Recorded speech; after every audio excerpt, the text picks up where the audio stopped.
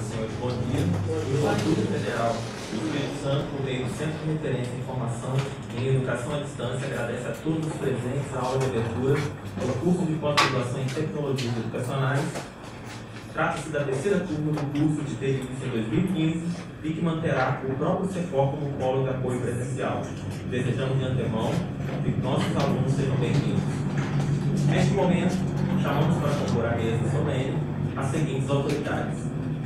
Magnífico rigor do Instituto Federal do Espírito Santo, professor Jadir José Bela.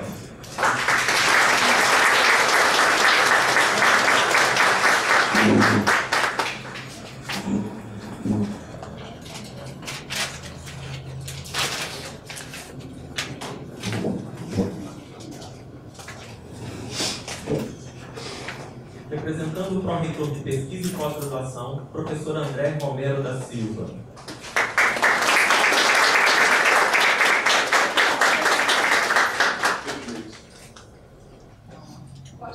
Pedro Leite.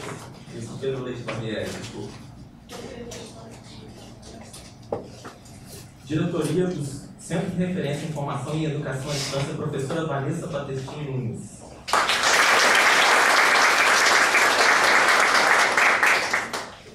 Representando a Coordenadora Geral de Ensino do Centro de Formação e Educação à Distância, professora Lucinéia Martelli, o servidor Luciano Rodrigues Varini.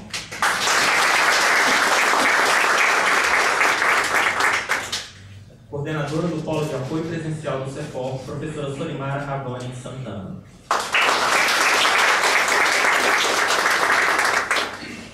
Coordenadora do curso de pós-graduação em Tecnologias Educacionais, professora Rutinelli da Penha Fagro.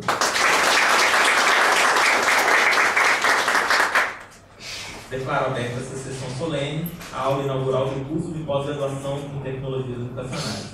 Convidamos a todos para de pé ouvir a execução do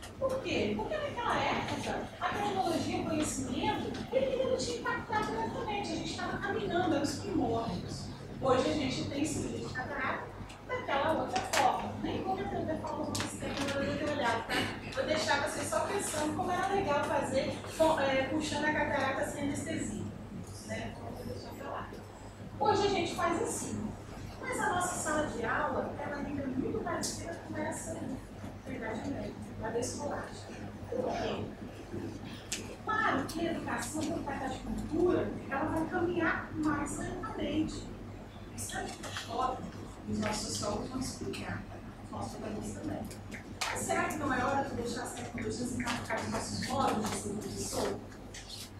Essa é a proposta. E essa foi a primeira aula do curso. Vamos para a segunda aula agora.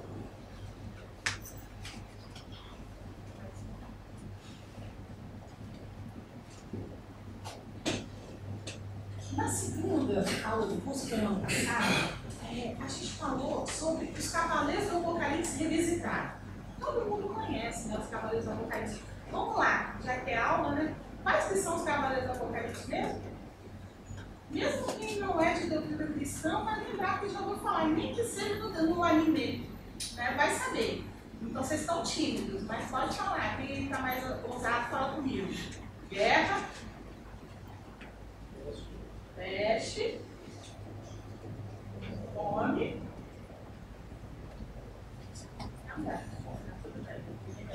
Tá. Esses cavaleiros nós revisitamos. Nós revisitamos. Quem sabe catecismo pode falar também. Também, né? Isso E nós revisitamos em alguns aspectos que nos tocam muito. A gente achou que pelo avanço da tecnologia no mundo, a gente teria vencido a fome porque a gente tem condições de fazer alimentos, inclusive sobra, né? Para todo mundo. Mas a tecnologia que nos permite criar alimentos mais fortes não nos permite solidários. A mesma tecnologia que nos permite avançar, viajar, conhecer coisas maravilhosas, entrar na internet, não nos permite mudar em relação às guerras, por exemplo. Pelo contrário, a gente criou formas novas de matar. Então, essa mesma tecnologia trouxe ali um conhecido nosso, que é para falar de doenças que voltaram, é, vocês lembram né, do surto de febre amarela? Depois a malária. O, o, tinha o mosquito, né, o Aedes, conhecido nosso, inclusive aqui do estado, ele voltou força total, coisas que a gente não tinham sido erradicadas. É falta de tecnologia? Na nossa segunda aula, a gente vai falar sobre isso. Se não é falta de tecnologia, tem que estar faltando.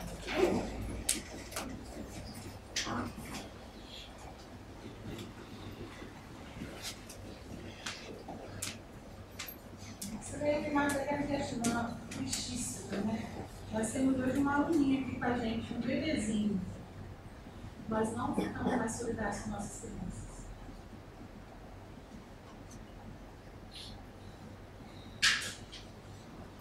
Mas se a tecnologia não falta, o que me falta? Eu fiquei pensando nisso também naquela época da aula e deixei, né, junto com os alunos que estavam no momento, são da turma passada, que vão defender 16 deixei a ideia de que de repente falta esperança. Mário Quintana tem um poema que na época nós lemos sobre a esperança que se renova. Será que as, que as tecnologias, mesmo que se esses desses cavaleiros visitados, elas não podem trazer esperança? Elas não podem trazer conexão? Ficou o desafio para aquela turma. E aí eu pensei, e agora, o desafio dessa, né? E acredito que. É, essa seja a minha despedida como moderadora. Vocês não vão me perguntar depois de mais outra. Mas enfim, é a minha despedida porque provavelmente três turmas tá bom, né? Vamos lá que depois vão ter novos coordenadores. Mas eu fico pensando o que deixar para nós, para mim também. Eu estive no Rio de Janeiro, no mês passado, e eu tive a oportunidade de ouvir um professor nova, alguns de vocês vão falar dele, trabalha em formação de professores. E ele estava fazendo lá uma formação. E conversando com o pessoal da FRJ, da UERJ, sobre como impactar os currículos de formação de professores. E ele trouxe um conceito interessante, muito interessante, que eu queria trazer para a gente hoje, para encerrar. O conceito do não lugar. Hoje a gente, a gente forma professores, assim, né, tradicionalmente, na universidade. E ele faz estágio na escola básica, e assim ele é formado. Está errado? Não, vamos formar assim. Mas está faltando alguma coisa? Para que a tecnologia, por exemplo, faz, para que a gente tenha né, novos momentos que essa tecnologia mude algo significativo no nosso Cavaleiros do Apocalipse Solicitado? Está faltando. A proposta dele é um lugar de formação profissional. É um lugar que consiga amarrar a universidade hoje que não consegue, pela sua estrutura, não é uma crítica à universidade, mas a estrutura que ela tem. Uma crítica, talvez, também à estrutura da formação básica, da educação básica, mas ele ficou vago no lugar. E aí, ouvindo, pensando, a proposta dele é que seja um lugar de profissionalismo um lugar que o professor possa formar com os saberes educacionais, os saberes próprios da docência, mas que são mais que os saberes do conteúdo. São os saberes que perpassam as conexões. Na época, lá né, no dia do evento, é, uma pessoa perguntou assim, é a internet esse lugar? Porque é o lugar da rede, do conhecimento, trazendo alguns conceitos de biologia do Castelo. E ele disse que não, porque precisava de um lugar formal. Então, eu, assim, ousadamente, vou trazer uma proposta para vocês.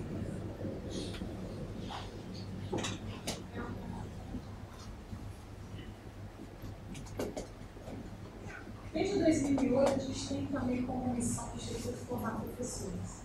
Eu acredito muito nessa missão. E não sou só eu. Muito acredito nessa missão. E eu queria que vocês acreditassem com a gente, que fizessem esse curso, que fizessem livros, como outros alunos, outros professores, outros cursos têm feito, um outro lugar de formação. Um lugar que acredita na formação a partir do uso da tecnologia, mas não só para o uso.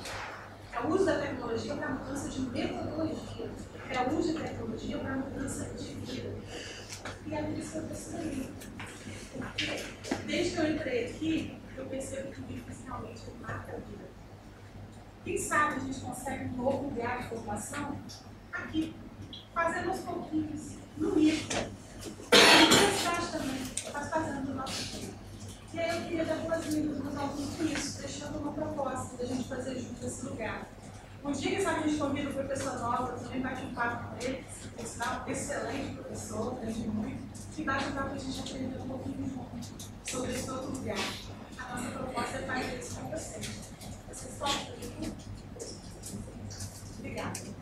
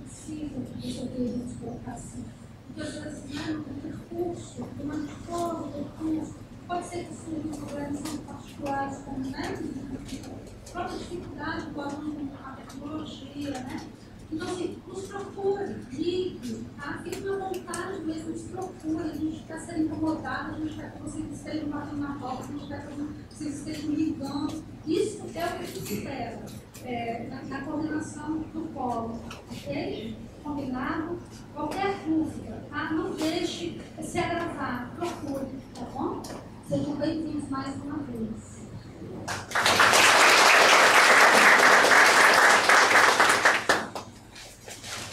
Agora convidamos os representantes da Coordenação Geral do Centro de Formação e Educação Distância, o professor Cinema Kelly, o servidor Luciano Rodrigues Barreto.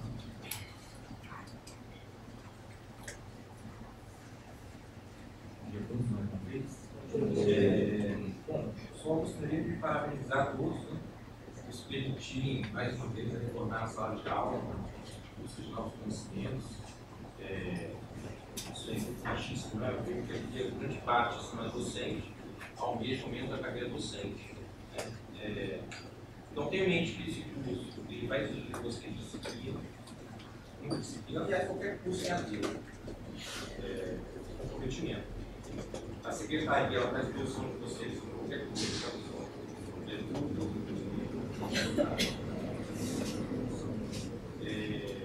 através da equipe, vocês podem também encaminhar e-mails para qualquer e-mail, de acesso com uma solicitação, por exemplo, agora.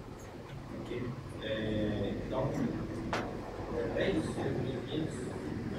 sucesso para vocês. Boa sorte. Agora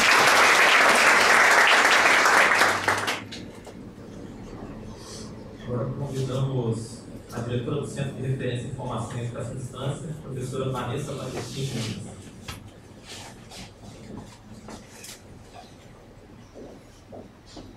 Bom dia, pessoal. Bom dia, colegas da mesa. É que se disponibilizaram todos aqui, até aqui no salão também, né? É, para estar tendo essa inaugural, momento muito importante para vocês, muito importante para a gente também. E eu queria ressaltar uma coisa que talvez para vocês nem faça muito sentido, mas que para a gente faz muito. Essa pós em tecnologias educacionais, que é outra edição, ela foi o primeiro curso do IFES, é, que naquele momento, o primeiro curso do IFES EAD institucionalizado. Por que eu estou é, querendo destacar isso? Porque a educação à distância no Brasil, ela avançou nos últimos dois anos, principalmente, por conta de programas federais, como o AD, ETEC, e esses programas são extremamente importantes, né? eles continuam aí no, no nosso país.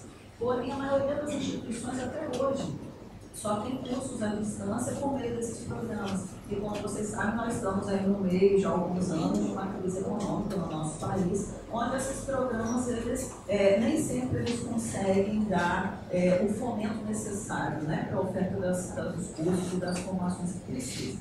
E aí, algumas instituições têm tentado avançar no sentido de nós queremos continuar trabalhando com educação à distância, e mais do que educação à distância, né? com o uso de tecnologias, inclusive um apoio ao presencial, mesmo se a gente não tiver esses, é, esses programas de fomento, como a Lei. E em 2014, é, nós começamos a trabalhar nessa proposta de, de curso, né? Começamos a primeira em 2015, e para a gente foi, é, um, é um motivo de muito orgulho, porque esse é um curso totalmente institucionalizado. Então a gente não conta com outros tipos de fomento para estar tá ofertando esse curso. E com isso, nós servimos de referência para o Brasil inteiro. Né? Nós somos do Instituto Federal do Espírito Santo, é uma referência nacional em institucionalização da EAD, e um dos motivos é esse curso. Pós tecnologias educacionais, inclusive no documento lá de tecnologias, um dos modelos que está lá é um modelo desse né? Então, isso é muito importante, muito gratificante. Como eu disse para vocês, talvez vocês não falando esse negócio de curso institucionalizado, mas isso é muito importante. É, e o que a Ruth falou é muito legal, porque nós não estamos aqui com a proposta de ficar reproduzindo o mesmo lá daquela sala de aula da Idade Média. Nós estamos aqui é, propondo o uso de tecnologias por meio de curso que é à distância e por meio de metodologias inovadoras. Nós vamos inovar em muitos momentos. Inovar é sempre muito legal, mas também é meio arriscado. pode errar, né? A gente pode ir por um caminho e depois a gente chegar à conclusão que não foi tão bom assim.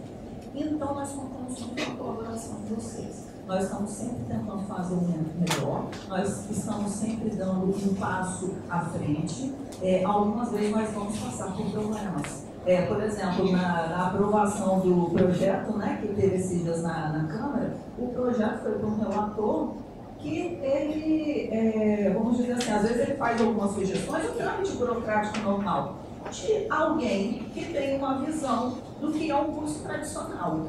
Aí, quando você tem uma proposta um pouco mais inovadora, que sai da caixinha, às vezes as pessoas ficam perdidas, elas não entendem muito bem, porque a gente está propondo algo novo, algo diferente. Né? Então, aí a gente conta, inclusive, com a gestão, né, de que nós muitas vezes vamos propor coisas novas mesmo, novos métodos, novos usos, e para isso nós precisamos do apoio da gestão, porque senão a gente fica amarrado e não consegue sair do lugar e criar esse novo lugar. Né? É, e conto principalmente com a colaboração de vocês, porque nós vamos estar fazendo coisas pensando no melhor para vocês e principalmente, creio aqui que quase todos sejam professores, né? Quem aqui é professor? Legal, muito bom. Então, muito além de influenciar vocês, é lógico que esse é o objetivo, mas a nossa, o nosso objetivo, quando nós é, abrimos esse curso e outros cursos aqui do CEFOR, nós queremos influenciar lá na ponta, nos alunos de vocês, para que esses, as salas de aulas de vocês, lá na ponta, sejam diferentes, não sejam mais igual àquela sala da Idade Média. Então, nós queremos começar fazendo isso, dando exemplo e mudando as metodologias e usando as tecnologias para inovar. E nós queremos que vocês façam isso também nas salas de aula de vocês, para que daqui a alguns anos a gente consiga ter um outro cenário no nosso estado, no nosso país, em termos de educação. A gente possa ter pessoas muito mais bem formadas, é, né, pessoas formadas não só profissionalmente, mas para a vida, no mundo, mais críticas.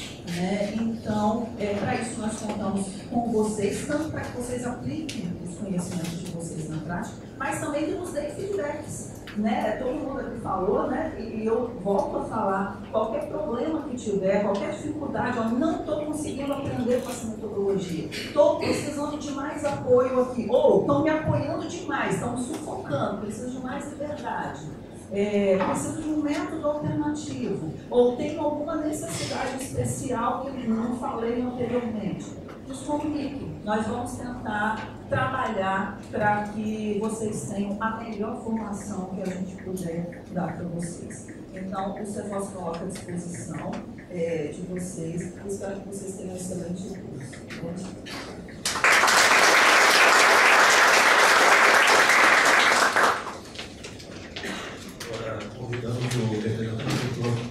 de pesquisa em pós-graduação, o André Romero da Silva, diretor assistente da pós-graduação do Instituto Federal do Espírito Santo, professor Pedro Leite Papieri.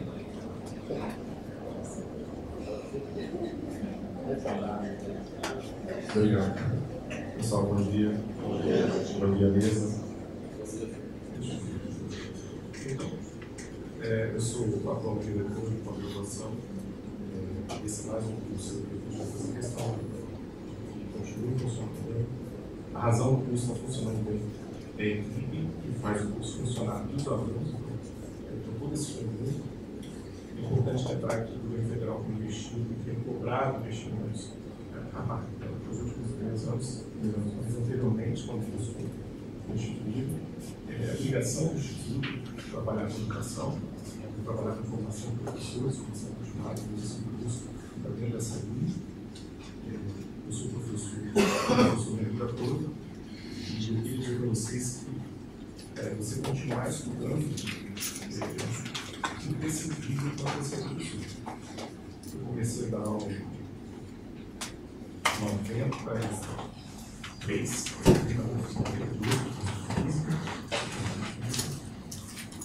bacharelado, já dava aula, dava aula matemática, aula, dava aula de física mesmo, e terminei o curso de bacharelado, é, fiz a complementação para a licenciatura e aproveitei para fazer um mestrado que tinha também na UNI. Continuei na UNI. Terminando o mestrado, eu não tinha doutorado aberto Aí eu mergulhei em duas escolas e estava, como vocês sabem, já cheguei a dar 72 horas de aula por semana. Então era aula a noite e no sábado, e vocês sabem disso, se eles quiserem. É, trabalhar quem trabalha. Quem trabalha pode ter um salário que corresponde, por isso que a gente precisa trabalhar tanto. Então, quem trabalha. E aí, quando abri o doutorado, eu reduzi minha carga horária para 40 horas, eu tinha conseguido pagar um pouco assim. É, eu já tinha conseguido pagar o principal, que era a moradia. E a gente resolveu dar uma reduzida e fazer meu doutorado, porque eu tinha oportunidade de fazer na UFS. E aí eu fiz meu doutorado no 40 horas de aula por semana, mas eu reduzi bastante. Significava que eu trabalhava dois turnos e um turno que a gente dedicava ao doutorado. Tive um orientador excelente. E isso me, é, me ajudou muito, contribuiu muito, para que eu pudesse concluir é, meu doutorado em menos de quatro anos, inclusive. Tendo isso em vista, é, eu estou agora na posição do time do orientador de vocês. Eu sei quanto é importante para todo mundo que está aqui conseguir isso.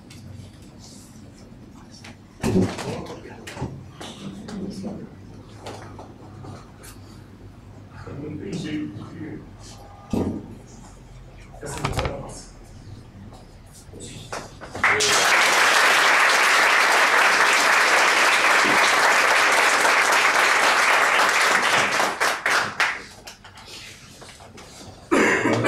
Convidamos o magnífico reitor do Instituto Federal do Espírito Santo, professor Davi José Terra. Bom dia. Bom dia. Bom, cá. Filho aqui, né? Bom dia. Bom dia. Isso. Você vai falar. Devagar. Depois que hoje um leitor, veja. Essa é a primeira atividade que eu estou participando. Lógico, sou professor da, da instituição, mas a minha, minha estreia aqui. Então, estou muito feliz é, desse dia. E queria anunciar com a Ana Vanessa, que é a nossa diretora, a Ruth, Luciano, Pedro, Mário, as meninas aqui do, EAD, que estão aqui participando com a gente.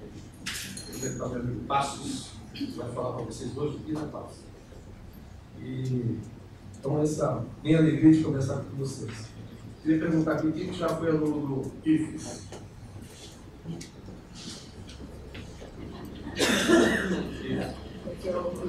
IFES. E você, Pet? Da escola técnica. Porque né, nós viemos nos últimos, nos últimos anos, nos últimos 10 anos, mais um pouco, desde 99, quando era da Escola Técnica Federal. Né? Depois, nós somos dessa época, né? Eu passo, chega, né? É, da, época da Escola Técnica, e depois, agora depois do Cefet, ficamos quase oito anos como Cefet, a gente teve alegria de discutir toda aquela época.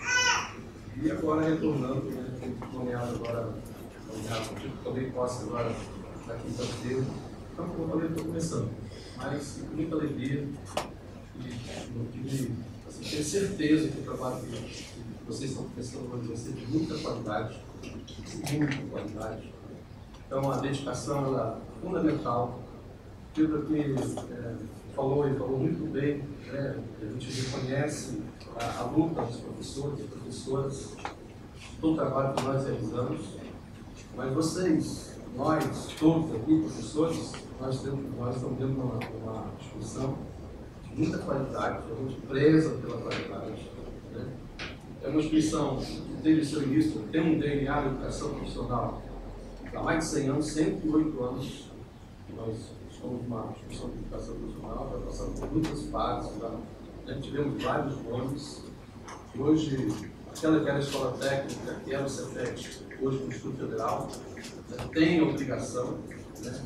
de formar professores na área de ciências, na área de matemática, na área de biológica, temos obrigação de fazer isso. Nós fazemos isso muito carinho, não só pela nossa experiência, mas também naquilo que é a nossa obrigação, né? trabalhar é, de, com concurso de qualidade né, de formação.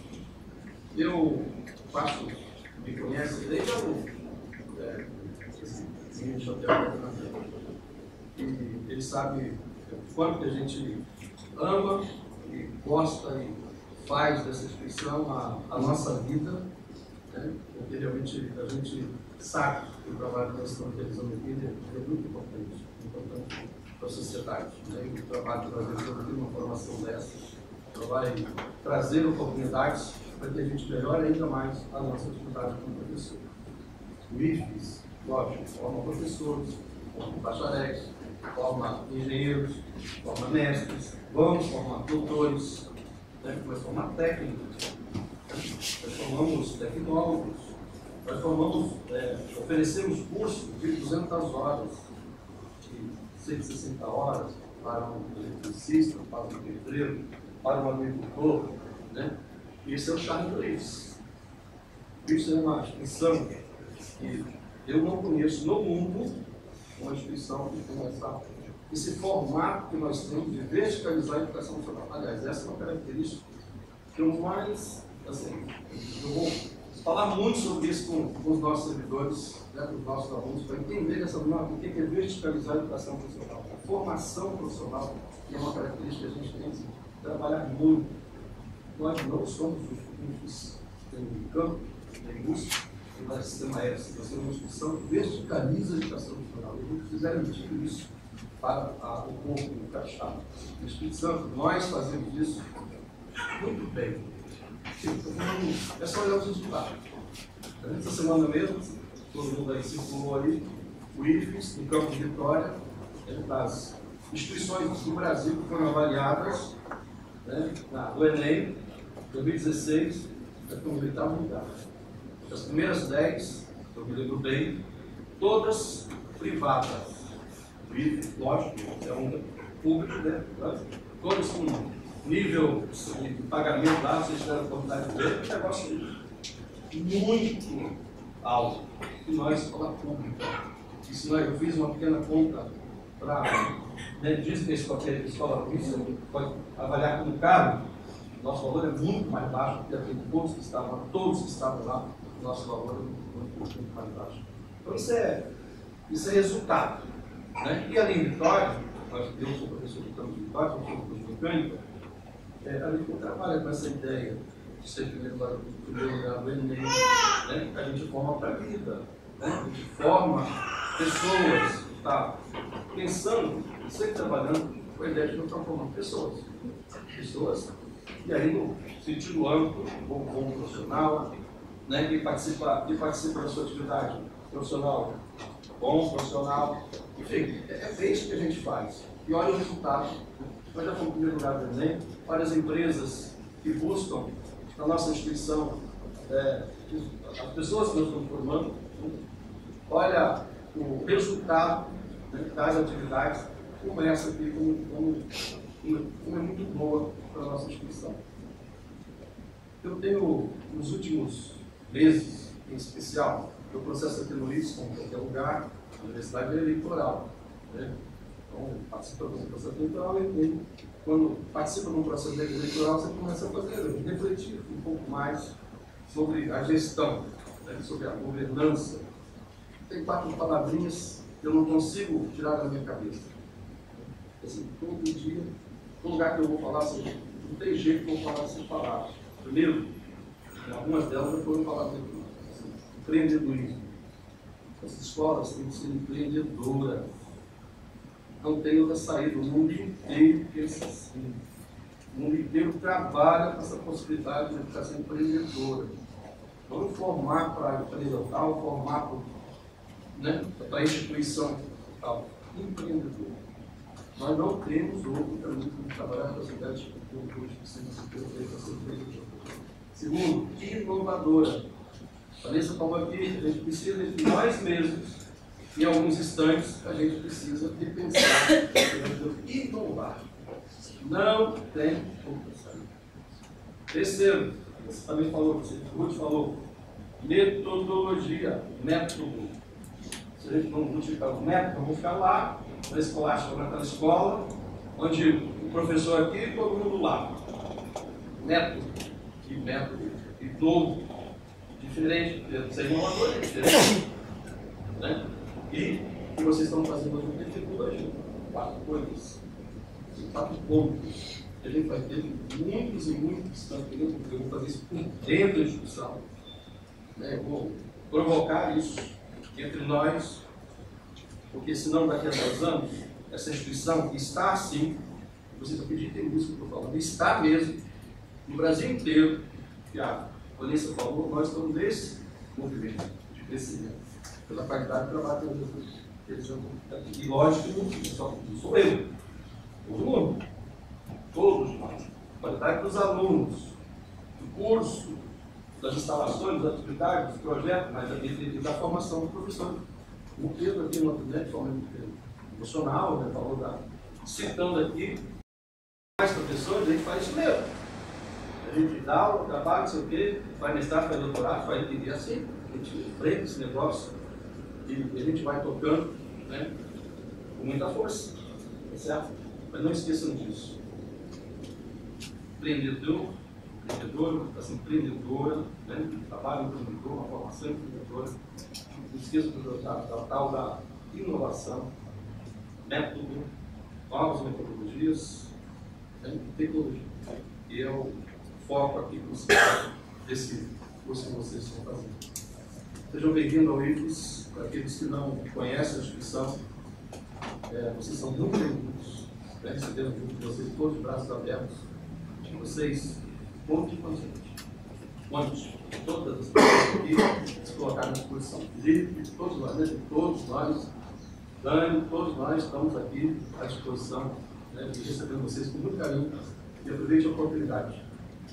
Oportunidade, gente, é porta. Abre-se uma porta e você vai. Bom dia, sucesso para vocês.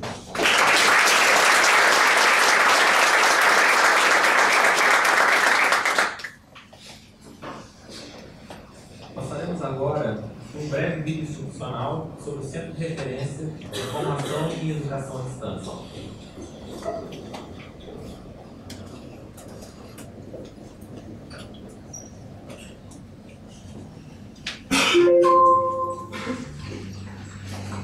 O cefônio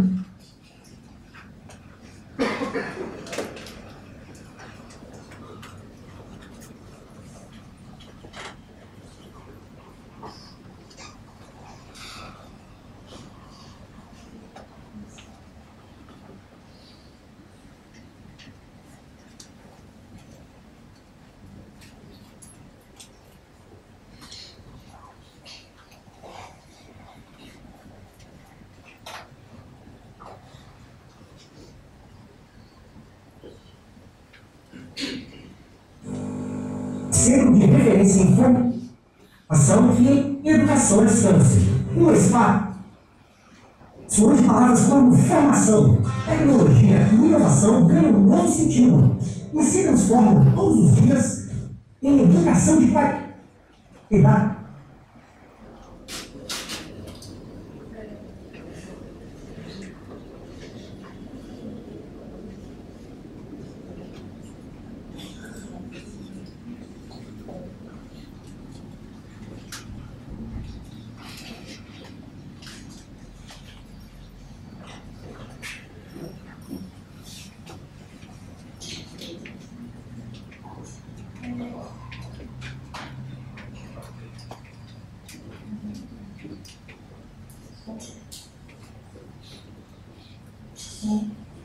Queridos, como o vídeo é de conhecimento da mesa, eu vou passar para a próxima parte é, e a gente passa o vídeo depois entre a gente, na segunda parte da uma durada, tá bom?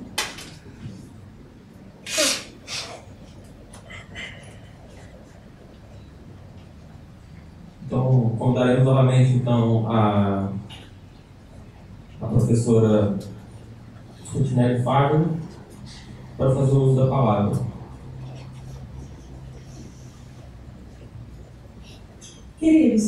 estamos concluindo essa primeira parte e eu pedi para fazer duas coisinhas antes tá? para o protocolo do Felipe.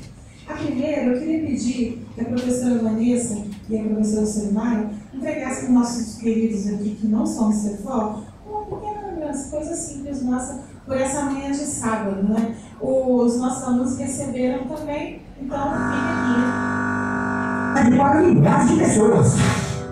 Em 2006, foi criada o centro de Educação à Distância, o SEAD. A partir daí, o Luiz passou a oferecer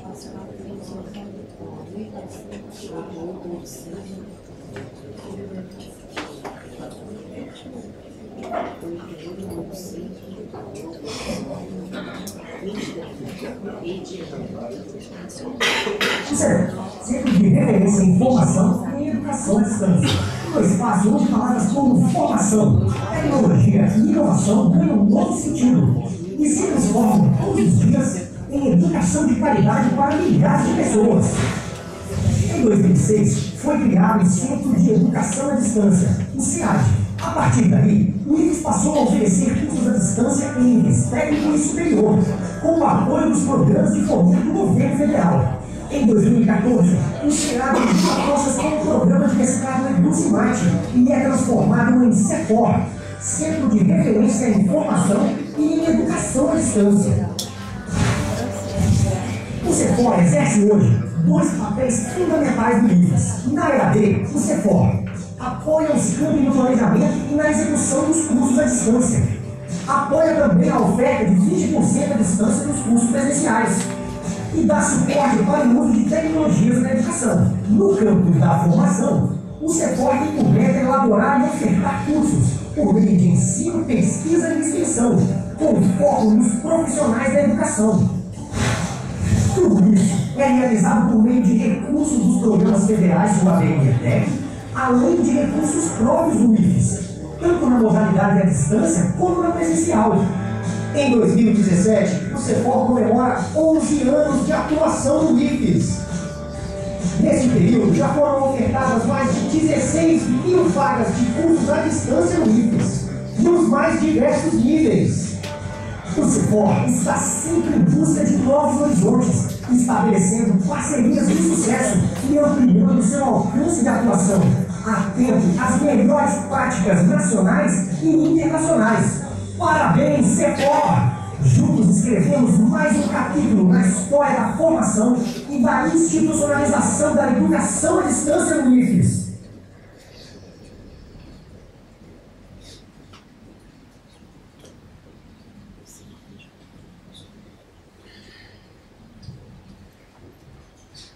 Agora convidamos a professora Marise Vira Silva Passos e o professor Antônio Vieira Passos para ministrarem a palestra Tecnologias para Aprendizagem Ativa, Desafio na Educação do Século XXI. A professora Marise é doutora em Educação pela Universidade de Norte, Universidade Pedofal, e doutoranda do Programa de Pós-Graduação em Engenharia e Produção da UFES, mestre em Informática e especialista em Análise de Sistemas pela Universidade Federal do Espírito Santo. Engenheiro de petróleo e administradora de empresas, formada pela Universidade de Vila Velha, professora e pesquisadora do Instituto Federal do Espírito Santo, professora permanente do Programa de Mestrado em Educação Profissional e em cursos de graduação e pós-graduação na área de Educação Informática. Atua no Centro de Referência em Formação e Educação à Distância com planejamento da institucionalização da educação à distância.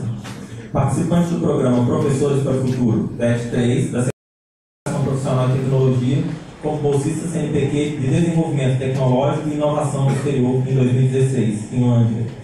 Participante do FIT, Finnish Teacher Trainer Diploma, Finlândia. Pesquisadora do Grupo de Pesquisa em Educação e Tecnologia e Tecnologias Digitais e Práticas Pedagógicas do IFES, atuando nas áreas de Educação e Tecnologia, Informática na Educação, Educação à Distância e Gestão da EAD.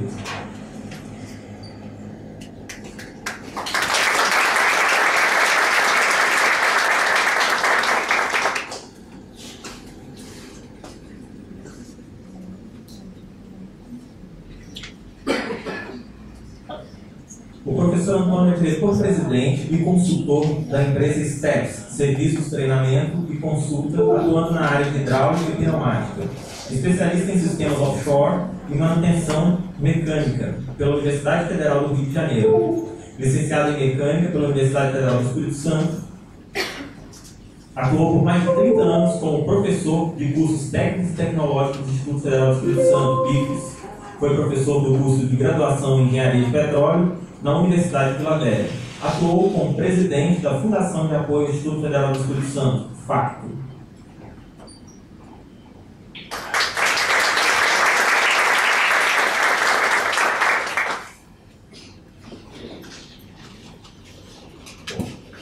Gente, bom, bom dia, né? Bom dia. Muito bom ver um grupo tão grande de pessoas aqui, no sábado de manhã.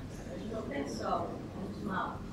Então, se fosse com sol, a gente ia estar ainda mais aqui empenhado de estar aqui em vez de estar na praia, né? É bom ver um grupo que a gente sabe que a maioria são educadores ou estão querendo entrar na área de educação porque a gente vê que o nosso país, a educação, tem pessoas que amam realmente a educação e que estão aqui. Se a gente está aqui é porque a gente quer fazer uma diferença. A gente quer ser um pontinho diferente nessa curva que a gente vê tantas coisas que o governo faz, que a gente vê nas escolas, que você estimula os alunos a estarem nesses espaços escolares. Que tem pessoas que estão aqui querendo transformar isso, querendo mudar isso um pouco. Eu passo para dar uma palavra para você, uma vergonha, eu vou botar. Bom, eu acredito que eu posso dispensar o microfone. Vocês estão me ouvindo bem. Depois de quase, praticamente 38 anos de sala de aula, períodos que pegava 45, 48 alunos, né? Então a gente aprende a mandar a voz lá para trás, igual o pessoal que trabalha com circo, né? Você acaba virando meio artista, meio Silvio Santos. Vamos falar isso aí. Porque quando ela fala em amor ao ensino, basta dizer para vocês o seguinte, eu sou aposentado desde 2006. Eu estou aqui como voluntário.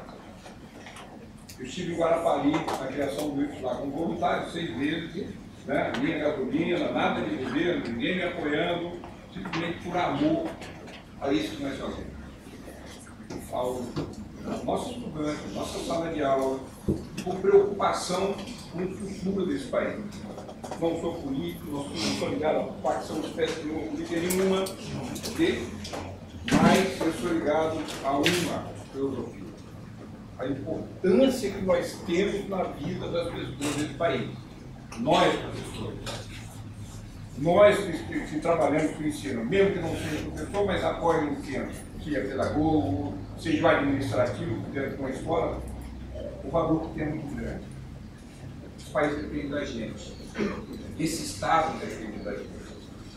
Então, quando eu venho aqui, eu tenho participado de oficinas com a Marisa, eu, eu acompanhei na Finlândia, e tive a oportunidade de fazer todas as visitas à escola, desde crianças até a universidade, de ouvir as palestras, de ler material, de me inteirar daquela metodologia de ensino, me fez ainda acender mais esse interesse.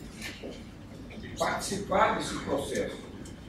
Eu ouvi, como diz o, o, o, professor Cortella, né, de São Paulo, da Região da Palestra, nós vamos morrer um dia. Tem que significar alguma coisa, essa passagem nossa aqui. Tá? Tem que ter um significativo. Não é só o dinheiro. O dinheiro é bom, sem ele vai é com bom, né? precisamos sobreviver. Porém, existe tem uma parcela muito maior, que é o amor que nós fazemos. Sem isso aí, a pessoa está na posição errada. Se eu não estou desempenhando aquilo ali, pensando que no lugar daquele garoto, daquela menina, como está minha filha, meu filho, e que eu gostaria que as outras pessoas os vissem da mesma maneira, com a mesma seriedade, com o mesmo amor, com a mesma dedicação. Se eu quero para o meu, tem que de você. Tranquilo? Então, dentro do coração de cada um de nós, essa chama não pode morrer. É o amor que nós fazemos. Tá? Nós vamos comentar aqui com vocês hoje o envolvimento, vai ser bem baseado nisso, nesse compromisso e o que se faz lá fora, nós estamos tentando adaptar à nossa cultura. Também não adianta simplesmente se importar uma metodologia. Nós temos que ver como desenvolver isso, como fazer essa modificação. Tá? Como é que nós vamos fazer esse processo? Vocês vão ver durante o decorrer alguns argumentos que nós temos, que eu acredito que são fortes, bastante fortes, para a gente tentar modificar esse, esse panorama que nós estamos assistindo esse diário nosso aí que precisa ser mudado. A tecnologia, pessoal, eu sou pesquisador, é, eu encaro fico inventando coisas, desde tentando melhorar uma cadeira de roda a fazer uma mão, minha área mecânica, mas eu tenho informação de eletrônica, outras, outros conhecimentos. Então, tentando lá desenvolver uma mão mecânica. Qual é o meu objetivo? Possibilitar que alguém que não tenha recurso possa ter uma mão mecânica, que não tenha mão possa ter uma mão mecânica. Aí você vai pesquisar o equipamento. Em seis meses, a mudança de tecnologia é coisa absurda. Cada vez que eu entro para pesquisar um negócio, já tem algo novo. Isso é numa velocidade louca. Agora imagine que isso está ocorrendo nos últimos 20 anos, pessoal. Desde que a informática entrou no mercado, isso está ocorrendo a velocidade grande. Ok? Então vamos pensar a respeito, vamos tratar disso agora. Vamos ver como é que desempenha aqui. Nós vamos falar um pouquinho então sobre. Deixa eu ver, Eduardo, o que é que eu consigo mexer. Nós vamos falar então um pouquinho sobre aprendizagem ativa e uso de tecnologia. Vamos trazer um pouquinho que a gente vivenciou na Finlândia também durante esse período, né? E vamos falar quais são os desafios que a gente, como educadores, temos para poder implantar e usar essa tecnologia de forma que faça sentido, né? Não adianta só a tecnologia pela tecnologia. Bom, eu queria começar pedindo para quem tem celular aí que faça a instalação desse aplicativo chamado Pool Everywhere. Ele é um aplicativo gratuito que tem tanto para iOS quanto para Android. E aí é só ir lá nas, nas onde a gente compra os apps, né, nas stores e baixar esse aplicativo. Porque durante a nossa palestra nós vamos estar interagindo com vocês através desse aplicativo. E aí a gente vai estar vendo o que, que o grupo está pensando sobre vários temas que a gente vai estar tratando aqui. Ok? Aí atrás vocês estão enxergando ali o que está escrito? P-O-L-L, P maiúsculo O-L-L, Every Estou falando devagar. É, B, I, com Y, né? O R. W-H-E-R-E. Quando vocês instalarem e conseguirem colocar, vai aparecer uma telinha no celular igual essa telinha azul aí. E aí vai aparecer o nome do plano é, e aí tem um espaço que vocês vão ter que digitar isso aqui, Marisa. Passo 531. Então, a gente, em 5 minutinhos, a gente consegue instalar isso e colocar para funcionar. Quem não conseguir, não tem problema. Você conseguir uma audiência razoável usando, vocês já conseguiram entrar na rede, na internet aqui do campus, né? Tem ali a senha e tudo mais.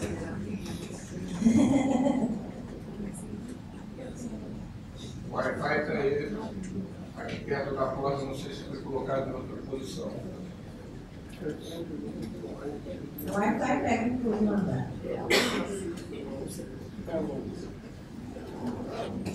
O nome do senha, né? Wi-Fi é aluno. Já vai responder. Aluno. E a senha é Prédio Novo 2016. Prédio Novo 2016. É um arroba, né? Ah, faltou arroba, perdoe. Conseguir instalar, quem conseguir instalar no computador? É bastante gente, mais uns minutinhos, a gente espera. Diga. É Marise Passos com Z, né? O Marise é com Z, 531. E aí já vai aparecer uma pergunta para vocês na telinha de quem conseguir entrar.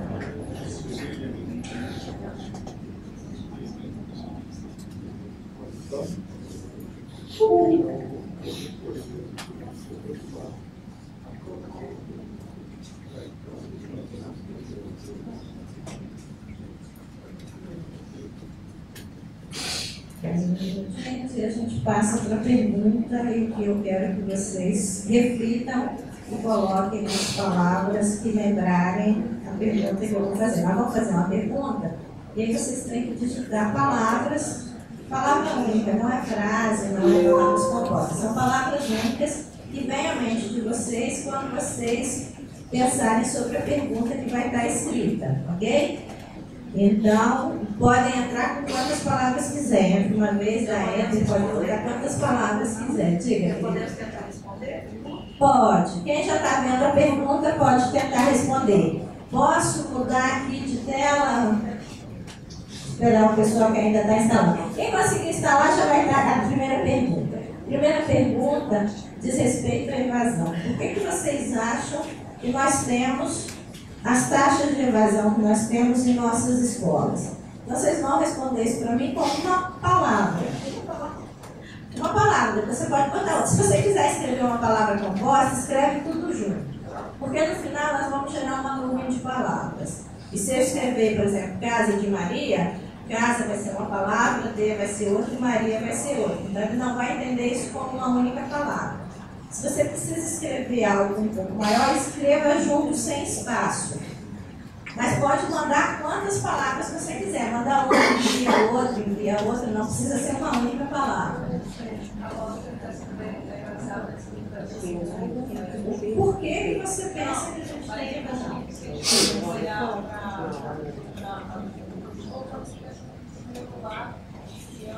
Na sua realidade. Tá? Nós não vamos restringir o adulto ou a criança na sua realidade. Por que, que você acha na sua realidade que há a evasão escolar? Ah, já deu o máximo de resposta. Só deixou uma? É, então eu programei para uma só. Posso mudar o slide aqui? É, Então, o que, que gera a evasão escolar? A gente contou essa charta aí só para animar um pouquinho. Saudazinha, e a professora quer trabalhar em grupo, é uma diz, mas que é grupo mesmo? Oi? Já atingiu o grupo de escolares. É, mas você já fez uma resposta? Sim, mas quem não fez Não consegue, não consegue consegue. para a Então, deixa eu dar uma olhada ali. forma que já atingiu o máximo de resposta. Eu coloquei várias respostas, eu consegui. Ah, tá. Dentro dos comentários, vamos falar sobre a criação. Terem uma ideia. Eu estava vendo recentemente, um relatório americano, dos Estados Unidos, a evasão do ensino médio está em torno de 80%. Do ensino fundamental, em torno de 60%. Então, isso é um problema que está atingindo grande parte do mundo e está todo mundo correndo atrás de melhor. E muita gente conseguindo bons resultados. Existe aquele bom resultado porque a coisa é mais forçada em cima da criança. E aí nós vamos ver um outro resultado, grande nível ou grande eh, taxa de suicídio de criança que existe, por exemplo, no Japão, e não é em outros países, China, etc. Passa por isso aí. Então, o nosso sentido de vida é massacrar o ser humano, ou trazê-lo a ter uma vida feliz, próspera, a ter perspectiva de futuro. Se não é a mesma coisa que o nosso garoto que está aí a servir para o tráfico. Ele não tem perspectiva. Ele não tem sonho. Não existe amanhã para ele. Observe as entrevistas quando aparece na televisão, eu fui prestar atenção no que o garoto fala. Aí eu vou morrer mesmo. Ele não tem perspectiva. Lá fora, algumas instituições, alguns países estão forçando isso e estão gerando problema. Conseguiu? É, Deixa eu passar aqui. Eu não sei se esse aplicativo. Eu, eu não sabia dessa limitação de número de respostas, mas vamos ver. Mas mesmo assim, a gente já conseguiu uma visão do que, que as pessoas aqui na sala pensam sobre o que, que seria esse motivo da evasão escolar. E aí, parte daquilo que eu falei. Da minha perspectiva, alguém já botou ali, ó. Quando aparece a palavra mais destacada, é porque foi o número de respostas. Conforme o tamanho da palavra, a quantidade de vezes que se repetiu. Que se repetiu. A mesma palavra. É justamente esse o problema. E aí eu tenho uma palavrinha, se vocês vierem um dia fazer aqui os ensinos gente, para mim é muito importante para o professor. Assim como vocês conquistam a pe- a pessoa que vocês querem próxima a vocês, ou a vocês, cada um de nós conquista alguém, ou é conquistado por alguém, nós temos que fazer isso com a aluno. Chama-se encantar. Essa é a palavrinha. E se o aluno não gosta de alguma disciplina, se seu filho reclamar, seu sobrinho, seu parente, seu irmão, ou você mesmo não gosta de alguma disciplina, olha para o passado e você vai ver que agora o professor vai te encantar.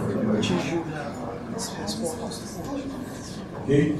Então, observe, desmotivação.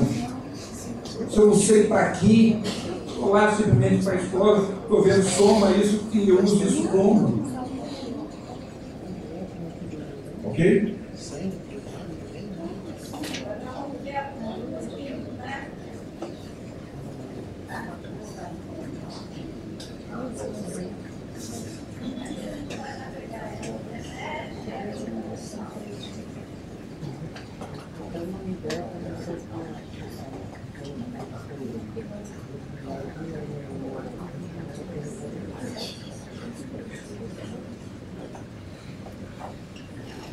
Olha só, eu estava assistindo ontem a uma palestra do professor da Universidade Federal de Pernambuco.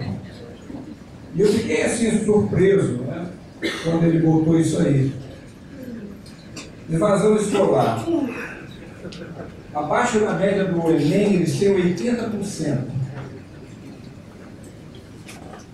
Defasagem de idade versus série, 50%. Consideram a escola desinteressante 40%. E 10% de desempenho né, é o desempenho final dos estudos. 10% só consegue desempenho. Nós estamos fazendo a coisa certa? Alguma coisa está errada. Mas o incrível quando a gente vai ver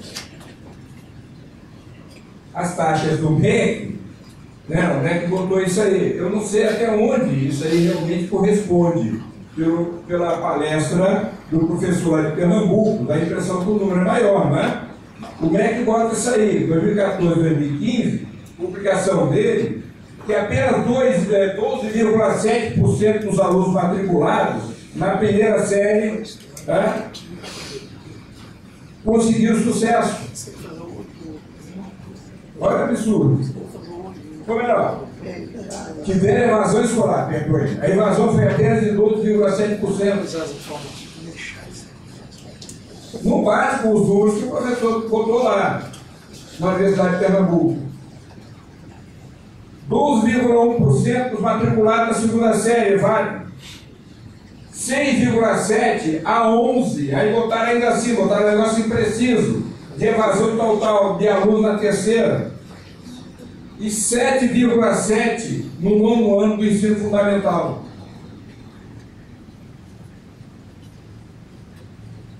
A tabela seguinte apresenta a evolução né, das taxas de, de evasão. Isso aí já peguei de outros dados. INEP. 2002, 3, 4, está aí os anos, e aqui na, na universidade pública, sendo curso superior, em 2002 tinha 25%, em 2008, 42%. E incrível que nós falávamos bem assim, ela falava mim bem assim, é, mas na escola, por exemplo, na, na universidade particular, que tem dinheiro, fica menos gente reprovada. É negativo. Em 2008 teve 52%. Não disse que pagou, passou. Não é assim que se fala? Por que a taxa é tão grande? Por que essa desistência? São vários motivos. Olha, aquilo que o professor estava falando aqui. Ele tinha que trabalhar não sei quantas horas e encarar o estudo. Não é fácil. Né? Melhor que nós aqui. Passei em segundo lugar em física, no mesmo curso dele na universidade, e a escola não deixou fazer o curso. Mas é uma história, né? Cada um tem uma, tem uma maneira. Mas aquilo ali é absurdo. E muito disso aí deve-se ao nosso trabalho. Ao falta do encantar, falta de trazer o aluno, falta de observar que o aluno é mais do que um número. A maioria de nós somos professores e alunos medianos. Nós perdemos o que está abaixo da média e perdemos o que está acima. Eu conheço gente fazendo jogo de bicho na rua aí em Guarapari, eu dou esse exemplo, que o camarada num ano tirou 58, 10. Como é que você perde um aluno desse? Falta de perspectiva. Ele não sonha, ele não sabe onde ele vai usar aquilo. Ele só tem nota. Ok?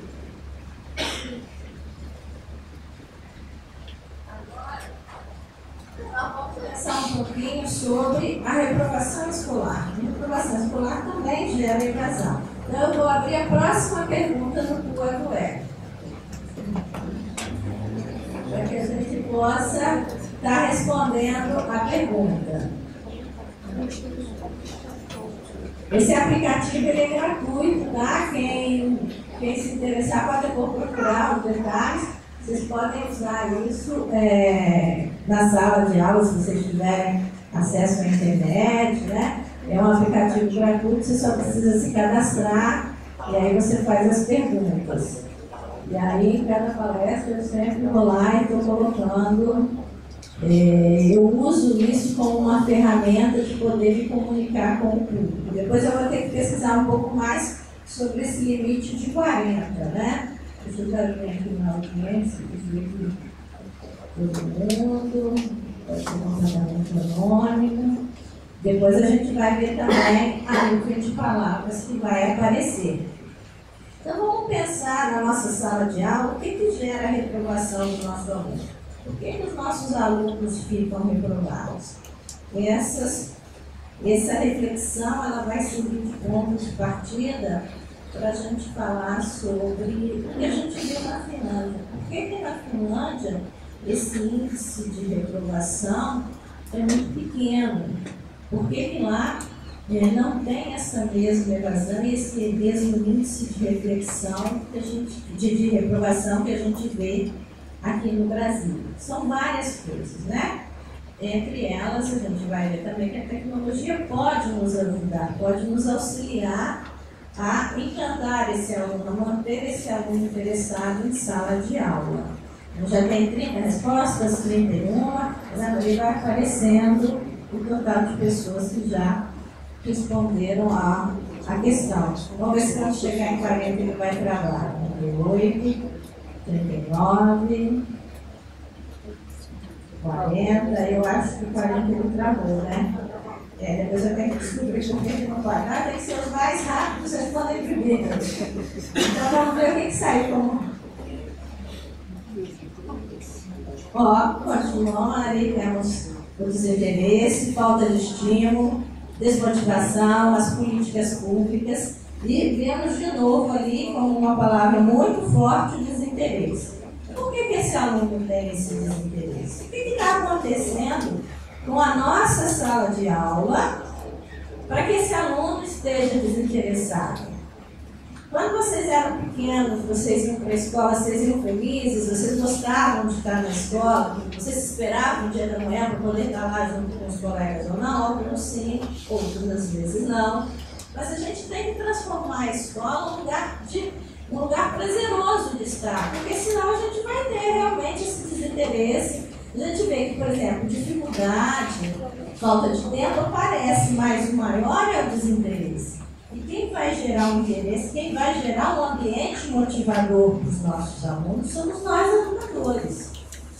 Porque se a gente esperar que o governo crie condições específicas maravilhosas, salas maravilhosas, com ar-condicionado, a gente não vai conseguir. A gente tem que trabalhar muito isso no, nas relações pessoais, nesses momentos dentro de sala, que seja coisa que, que o aluno se sinta interessado, se sinta tenha prazer em estar lá e que aquela aprendizagem faça sentido para ele, né?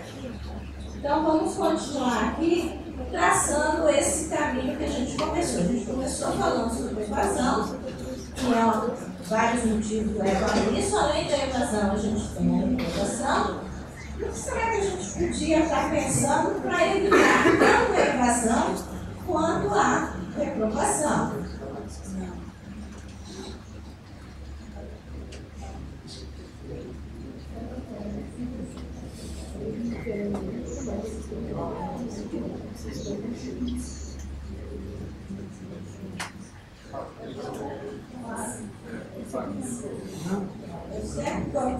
Está sempre com a história. Bom, aqui a gente tem um filmezinho que vai levar vocês a pensar um pouquinho sobre que aluno é esse nosso que está desmotivado.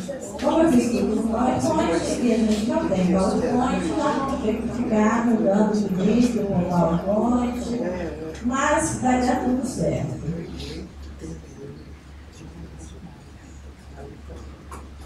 Não está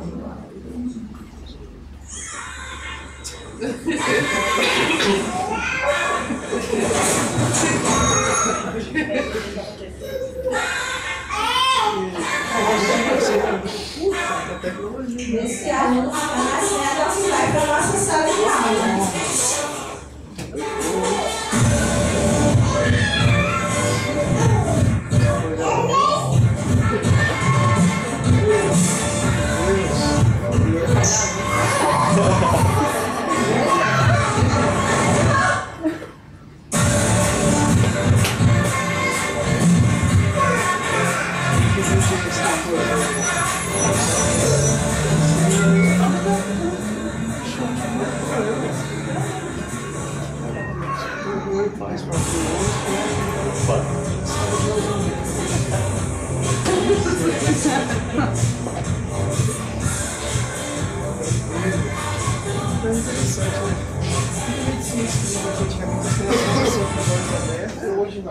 Esse aluno está nascendo nesse mundo, esse é o nosso nativo digital, é um machado, é lógico, ele nasce assim, mas ele nasce num outro mundo, numa outra realidade, e a gente leva ele para a escola e quer que ele se encaixe num mundo que não é mais o mundo real dele, não é o que ele está acostumado no dia a dia.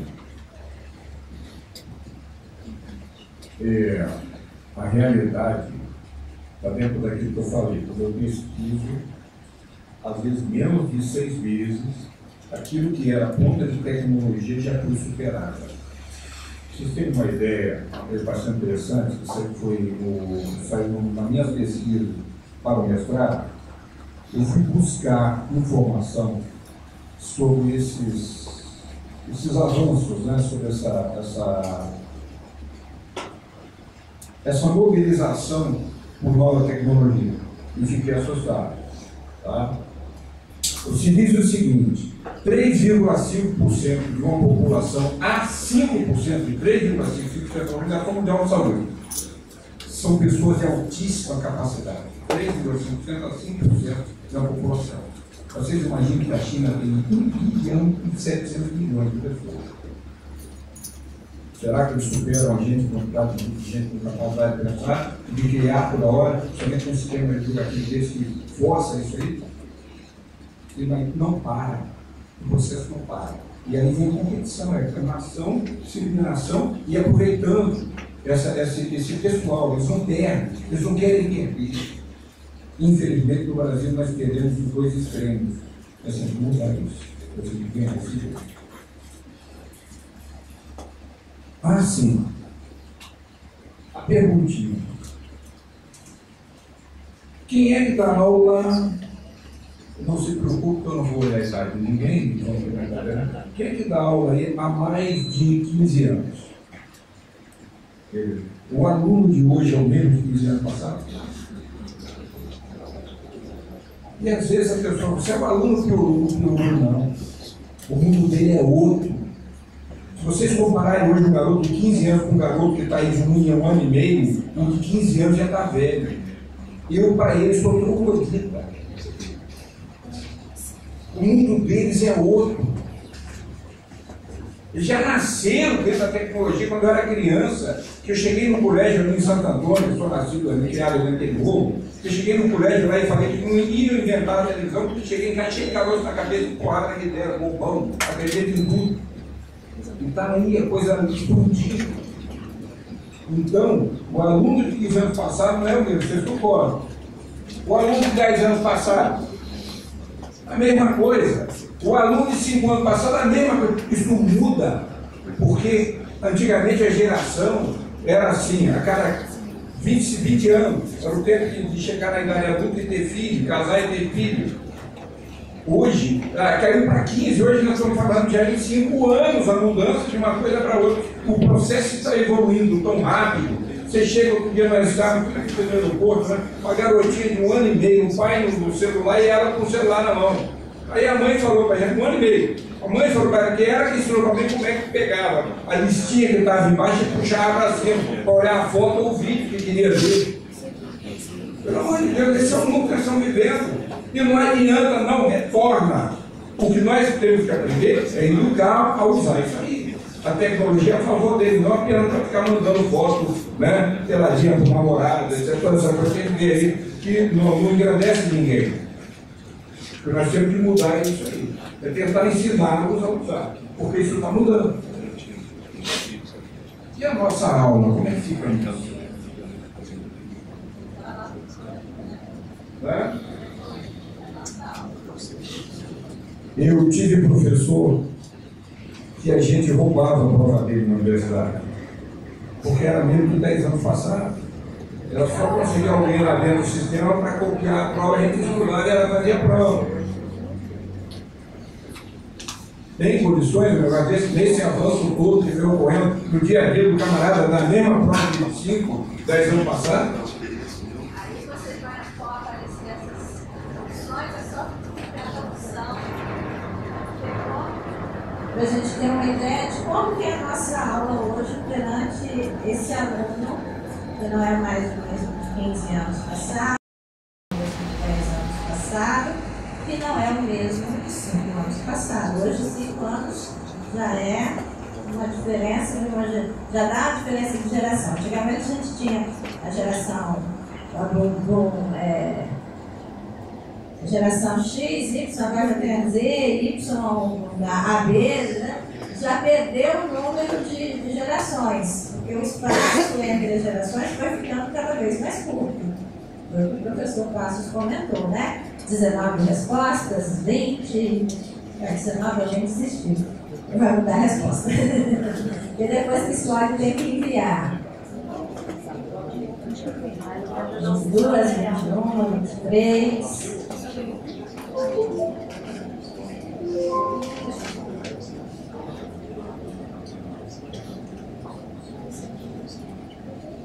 Aqui eu posso deixar as respostas aparecendo enquanto vocês estão respondendo, eu posso deixá-las ocultas para a gente só ver ao final. Mas é interessante só ver ao final para que as respostas não é, influenciem a resposta de quem ainda não respondeu.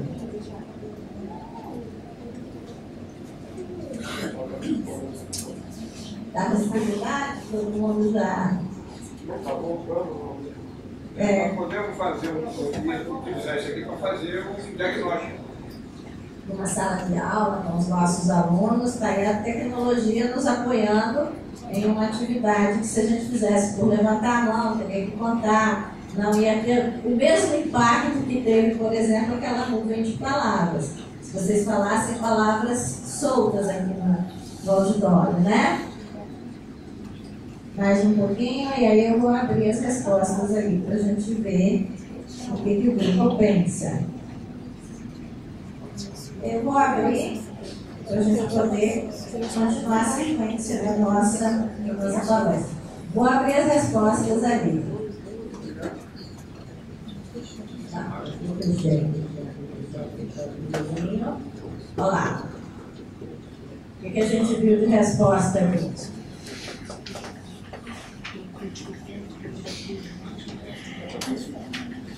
Observem que foi um pouco modificada, pouco abaixo, foi bastante modificada.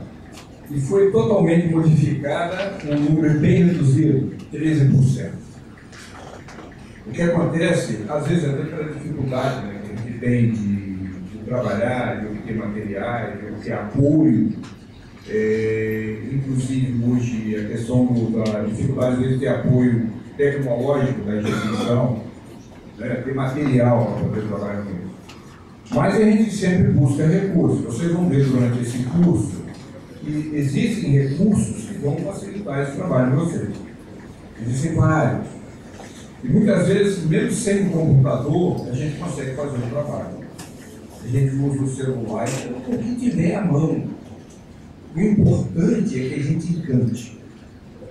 Se a gente conseguir entrar na tecnologia, que é o mundo deles, é o mundo deles, eles estão nascendo dentro dela. Já é o mundo de muitos de vocês, tem gente jovem, e já nasceu nessa tecnologia. Então sabe que ela muda toda hora e vai mudar. Nós temos que encantar. E a forma levar para o mundo dele. Não adianta eu querer trabalhar com uma realidade diferente. É legal a gente reparar aqui que não é mais a mesma aula que eu dou quando eu iniciei. Porque se meu aluno mudou, não adianta eu querer ensinar a mesma coisa do mesmo jeito para um aluno que é diferente. A gente não vai conseguir os mesmos resultados que eu conseguia com outro tipo de aluno que eu tinha antes, né?